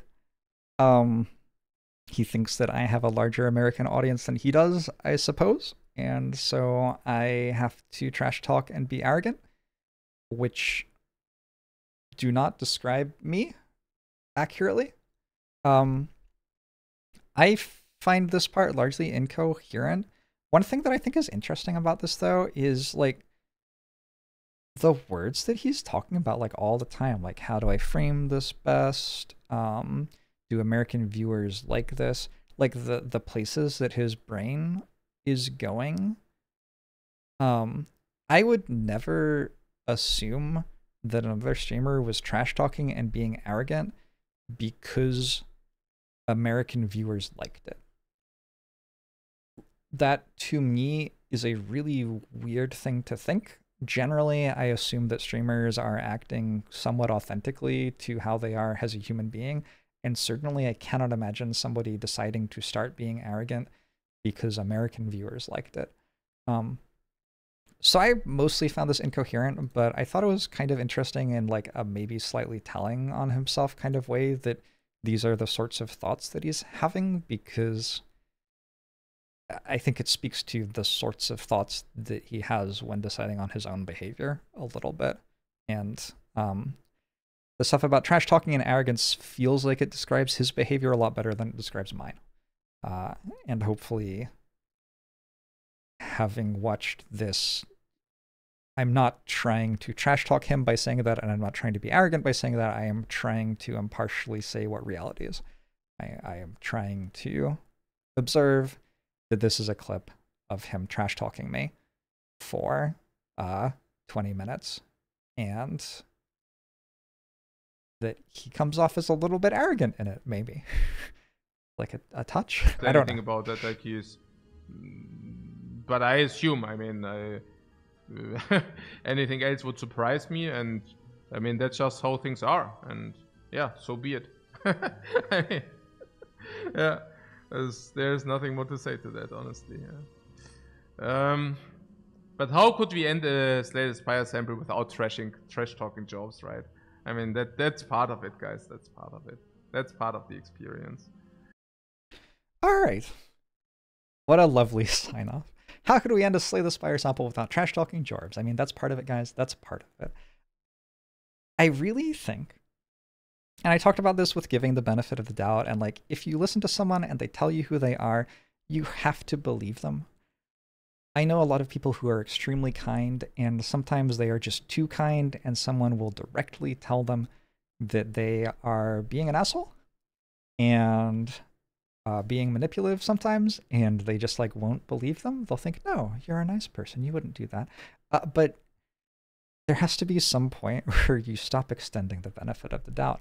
And it's wild to me that Adrian is able to just say on his channel live to hundreds of people that he is trash talking me. He literally just, like last sentence, literally just last sentence talked about how I trash talked lots of people and that was what I was like as a negative thing.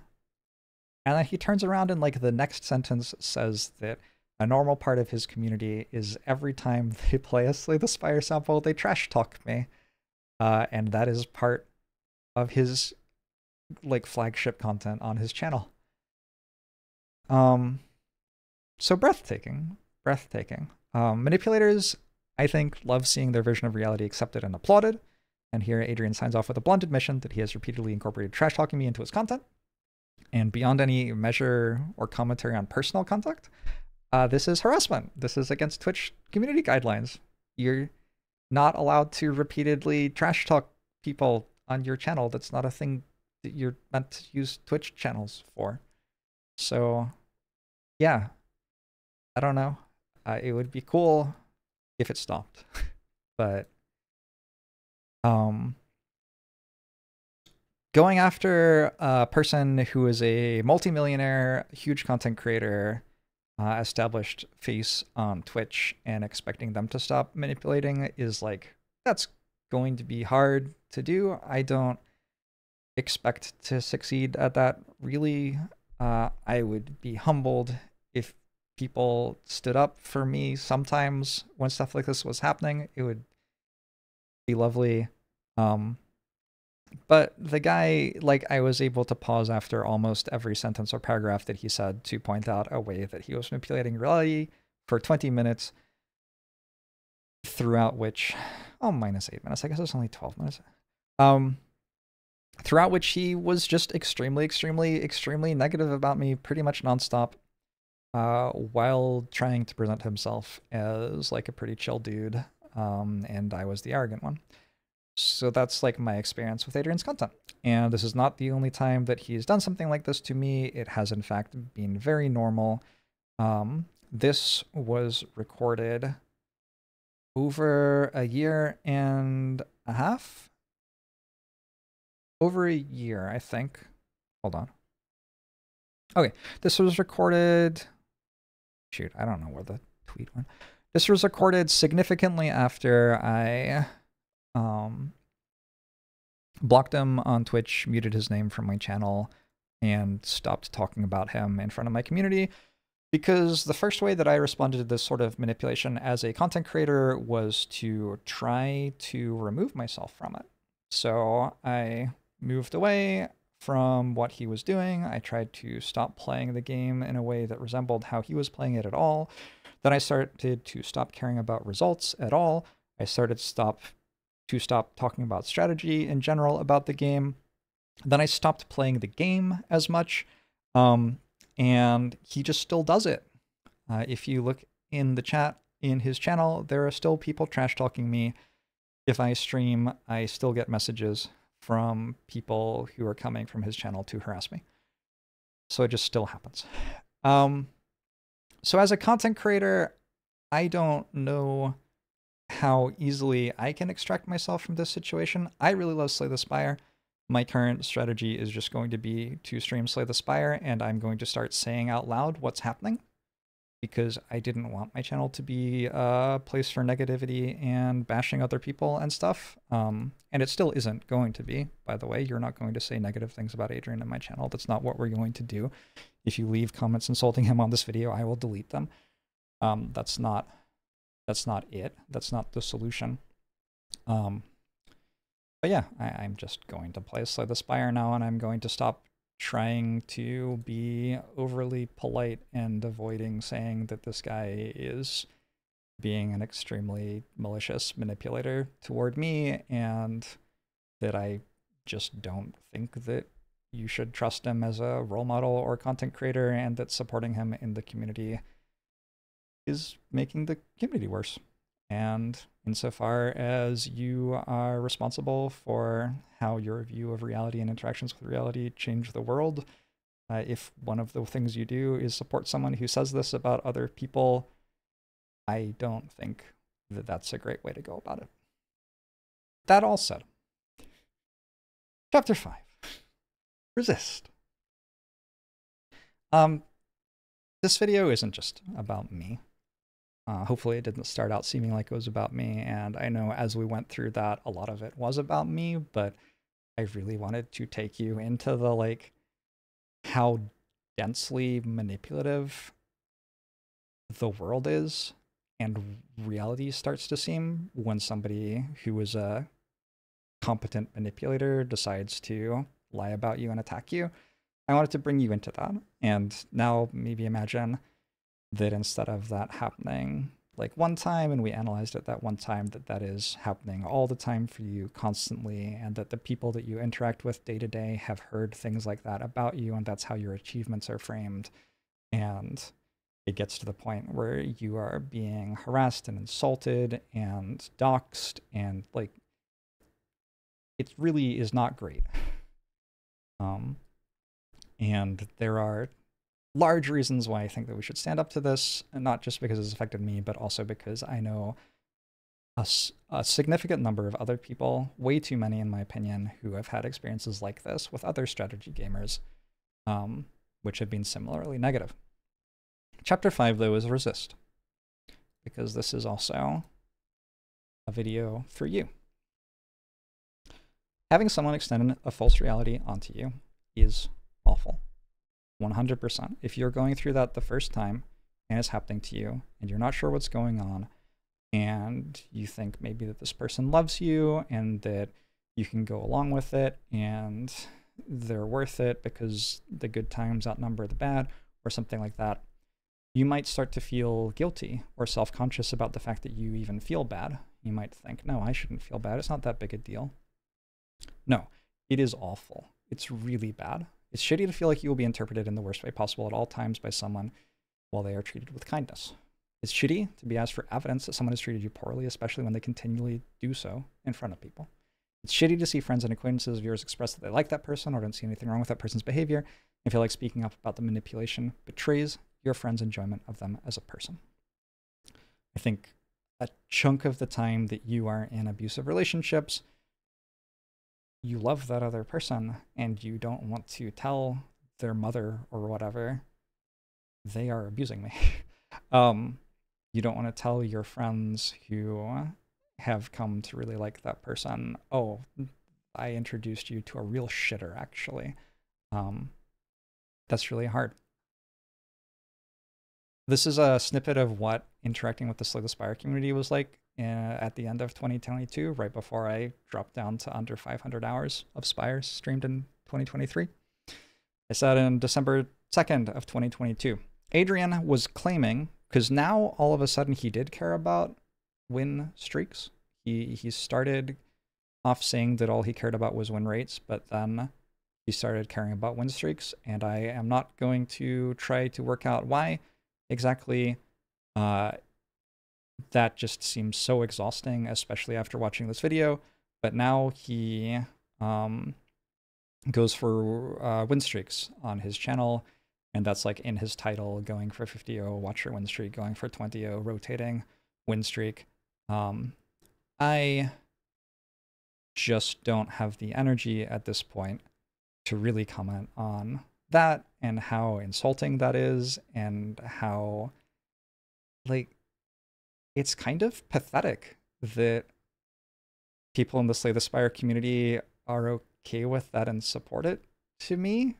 Like it lowers my opinion of uh, people who watch Slay the Spire a little bit, and that's really tragic. And I generally love this community, and I have met some of the coolest people I have ever met through the Slay the Spire community. But how how have we let somebody who is so openly manipulating the people around him in the community just walk all over the community like that?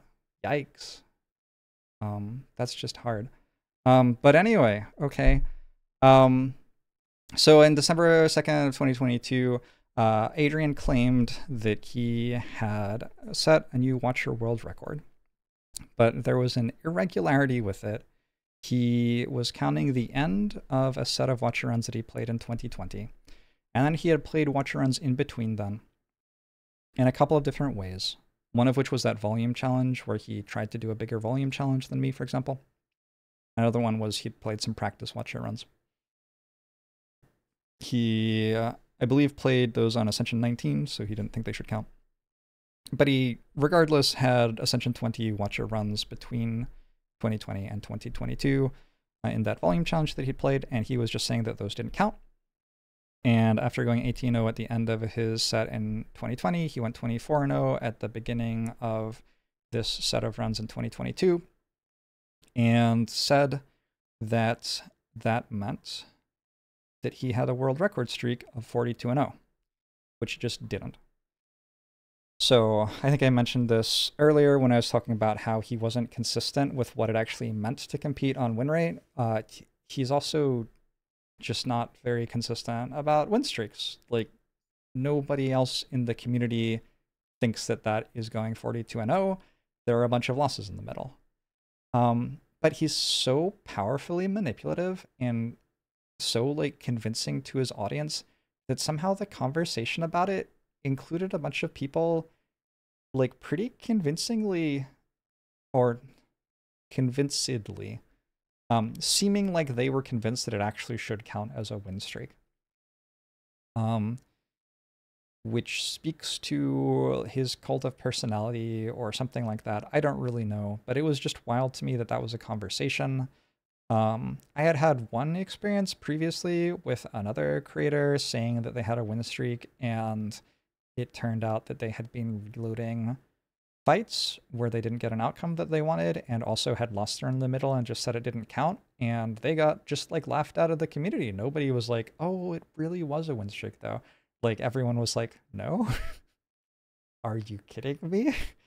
Do we not know what reality is? But here, when he said that he had a 42 and 0, like there was actually conversation about what reality was. Did he actually win 42 watch runs in a row? No, he didn't. If you look in his watcher run history, he hadn't won 42 in a row. He had lost runs um, in between, but he claimed he had a 42 0 anyway. So, as somebody like removed from world record streaks a decent amount at that point, um, but who knew and had some amount of affection to some other people who did have world record streaks, I kind of felt like I was in a pretty appropriate position to say, hey, that's not a world record streak. Um, also, as somebody who has played many world record streaks before, right? I, I have some amount of authority to comment on um, how they have been played, which is it's just kind of wild to me that this was like a thing that needed to be commented on. And so I uh, logged in to Reddit to comment, and the first thing I saw logging into Reddit was that someone had DM'd me to tell me I deserved my abusive relationship. Because uh, I get harassed on Reddit uh, because Adrian makes content like the content that I just showed you. Um, so I said, so the Spire drama is incredible. Someone is claiming they have a 42-0 win streak after going 18-0 in 2020, playing in between with losses, and then going 24-0 in 2022. When I logged into Reddit to comment, I saw someone had DM'd me to tell me I deserved my abusive relationship. It's like all the drama that you get in any strategy community, except the people who enjoy spending their time gossiping about drama only have about five different people total that they know of to talk shit about. I have weighed in that I do not think not winning 42 runs in a row is winning 42 runs in a row, and someone has told me everyone in the community hates me and then spent an hour doxing me as much as is easily possible, another enjoyable foray into the community forum. This is just like what interacting with the Slay the Spire community in like the public forums of the Slay the Spire community is like for me now, after three years of Adrian saying this sort of shit about me nonstop. I made like what I consider to be an extremely reasonable and, if anything, like conservative post about what win streaks should be. Um, I'm going to actually bring it up for you real quick.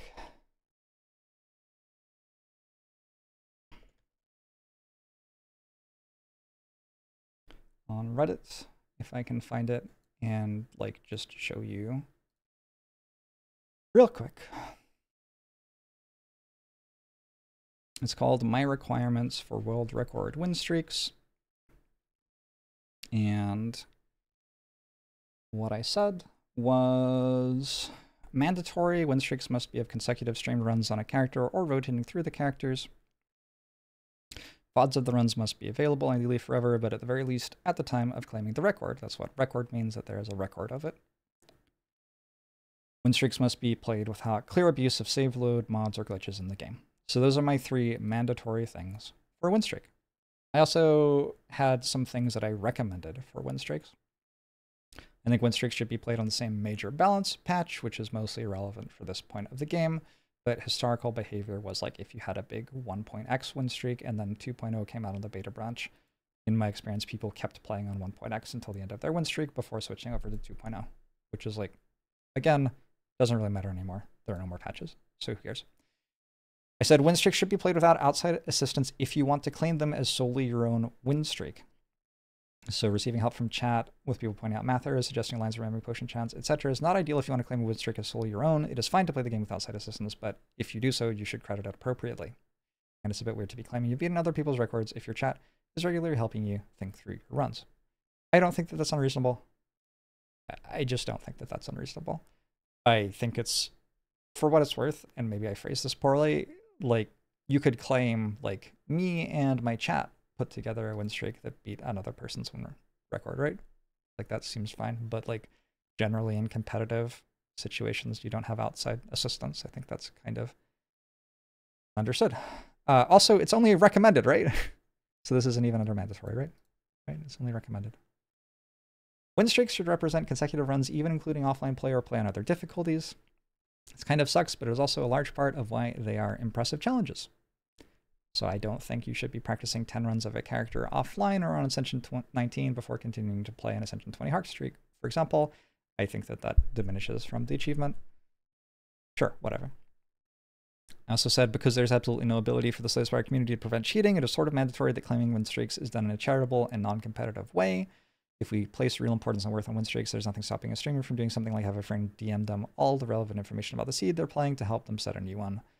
Uh, it's essentially impossible to have real competition slay the spire unless the people involved are clearly charitable and fear fair to each other.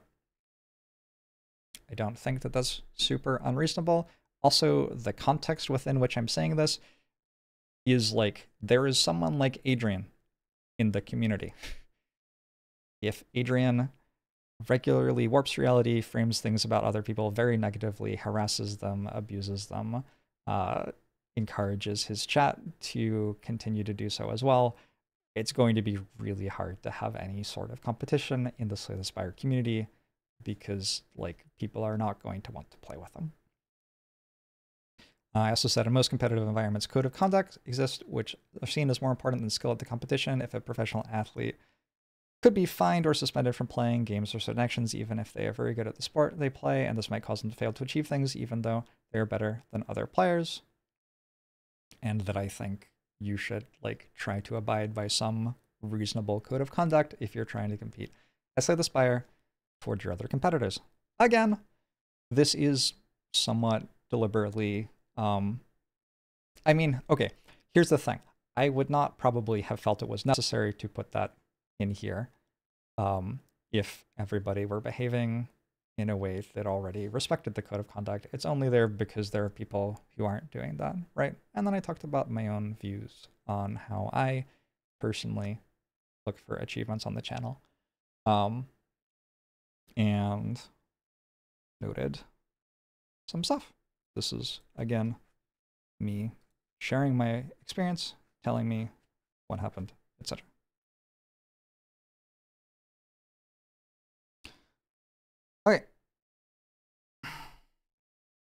Uh, I still get made fun of for that post. I got doxxed for making that post. Uh, I still get made fun of. Um, people still bring it up on Reddit if I ever talk about anything on Reddit. They're like, Remember that post Jorbs made where he was completely unreasonable about the world records and oh, he says that you're not allowed to have outside assistance, so he thinks Baalor's world record doesn't count and stuff like that. Like, I have a three hour long video talking with Baalor about his world record. um, that just isn't true. In that video, Baalor expressed that he was a little bit concerned because there was a potion that he thought might only spawn from Mud the Spire, which he picked up without really thinking about it, which he thought some people might find invalidated the run, and I reassured him, Baalor, nobody's going to care about that. So, so the reality, no, quite the opposite. But like, yeah, um, it sucked. It sucked a lot to interact with the Slay the Spire community uh, in 2022, largely on account of what was going on here. Um, the world will stop making sense if you're being abused. So I depersonalized in late 2020 through early 2021. I didn't know what the word depersonalized meant uh, before this, and so I didn't know what happened to me until like a year or two later. Um, but I stopped making memories. I largely stopped thinking myself uh, to be a human being. I just went through my life. I drank a decent amount, uh, and I, yeah, you know, it wasn't that I was unhappy or suicidal. It was more that I was just detached. And I'm not going to say this was only because somebody was like manipulating and harassing me, but it certainly didn't help. There was a pandemic, right? I'm not a multimillionaire, so I was stuck in a small apartment with my partner who had lost her job, uh, going through a pandemic in the US uh, while all this was happening. And this guy was like abusing me and harassing me while people applauded him. Uh, so I wasn't exactly unhappy or suicidal. It was more that I was detached. My reality had included beliefs like that the Slay the Spire community was kind, that the world was interested in celebrating my accomplishments, and that my viewers were interested in humanizing me. And when those beliefs were challenged, it made it quite hard to engage for a while. So I just kind of didn't. You don't have to be perfect, though. One of the most effective ways to manipulate someone is to seize on something they find shameful or negative about themselves, and then frame it as a bigger and bigger deal while minimizing the things they take joy in about themselves.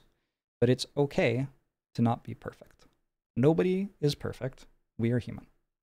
If someone insists on seeing all of the worst parts of you and none of the best parts of you, that doesn't mean you are bad, it means they are. And your friends and family, the people who love you, understand that you aren't perfect and love you despite that. While a manipulator may make you doubt yourself by disparaging you, the job of the people you love is to stand up for you despite your imperfections. And so it can be really, really, really hard. But if you find that you're being abused, it is important to be open with the people around you and ask for help and tell them what you're experiencing. And people will come for, through for you more than you might expect. Um, I found it really hard to ask for help for a lot of my life, and I set it as a goal in like 2019 to get better at asking for help. And oh my God, it is like a cheat code for life. Asking for help is so powerful, and there are so many people who are so willing to help you out if you have a reasonable request for them. Like, just like state how they could help you with 30 minutes of your of their time because of their skill set. And if they're a friend of yours and you're like, I really could use help, I need to work out how to fit some furniture into this room. I know that you're really good with spatial reasoning and have some interior design uh, experience. I was wondering if I could have you over, I'll feed you and give you a beer, and you could talk through this with me. Like, like, what do we exist for as human beings if not to say yes to a request like that? Um, it just, if you ask people for help when they can help you, people are generally going to want to help. And you're not perfect, but that is okay. Nobody is expecting you to be. And we are ready for you to come back. So I stopped charity work in 2021, partially due to bad interactions with a charity middleman, but also because I found I had no more positive energy to give to the Spire community. I was not finding that it was a positive place where I wanted to, um, you know, my charity events were largely about showcasing Slay the Spire and all of the cool things that you could do in it to people who were interested in positive change in the world. And I increasingly thought, like, gee, I'm not sure this is a community that I want to show to people who are interested in positive change in the world. Um, and, you know, yeah, that is what it is. Um, I am excited to play lots of Slay the Spire this year. I, I'm excited to be me and be me playing Slay the Spire, and I'm largely not interested in interacting with the Slay the Spire community at this point because of the contents of this video and the general lack of support I have received from other people in the community. Like there are some people I like a lot and I will collaborate with them, but in terms of like a community event, like no, I have no interest. Um, um, so yeah, I took a year or so of reducing my engagement with Spire. I played a lot of other games, I rediscovered my love of gaming, and I rebuilt my own reality. That's like largely what I did stepping away from Spire. I was like, wait a second, no, I really like games. And then once I had that perspective of like, oh yeah, games are awesome, these are great, I like would play Spire again and I'd be like, oh, wait, Slay the Spire is really good. I understand why why I loved this game to begin with. Slay the Spire is it is definitely my favorite game that you can play for more than 100 hours. 100%. There might be some short form games that are like six hour playthroughs, which I would put above it on a list in terms of like what I would recommend to people. But in terms of a game that has a lot of replayability, Slay the Spire is easily my favorite game in the world. So at the end of 2023, I decided I would try to come back to play more Spire in 2024. I missed Spire. I love the game so much. And organized a charity event for the final week of 2023 to kickstart coming back. I thought I might get a few guests on um, too. So I sent out some messages to people.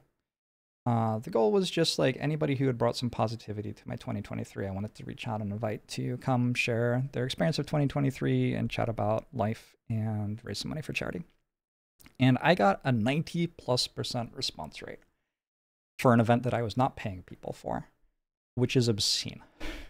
Um, it is hard to do that in content creation as like an indie strategy game streamer.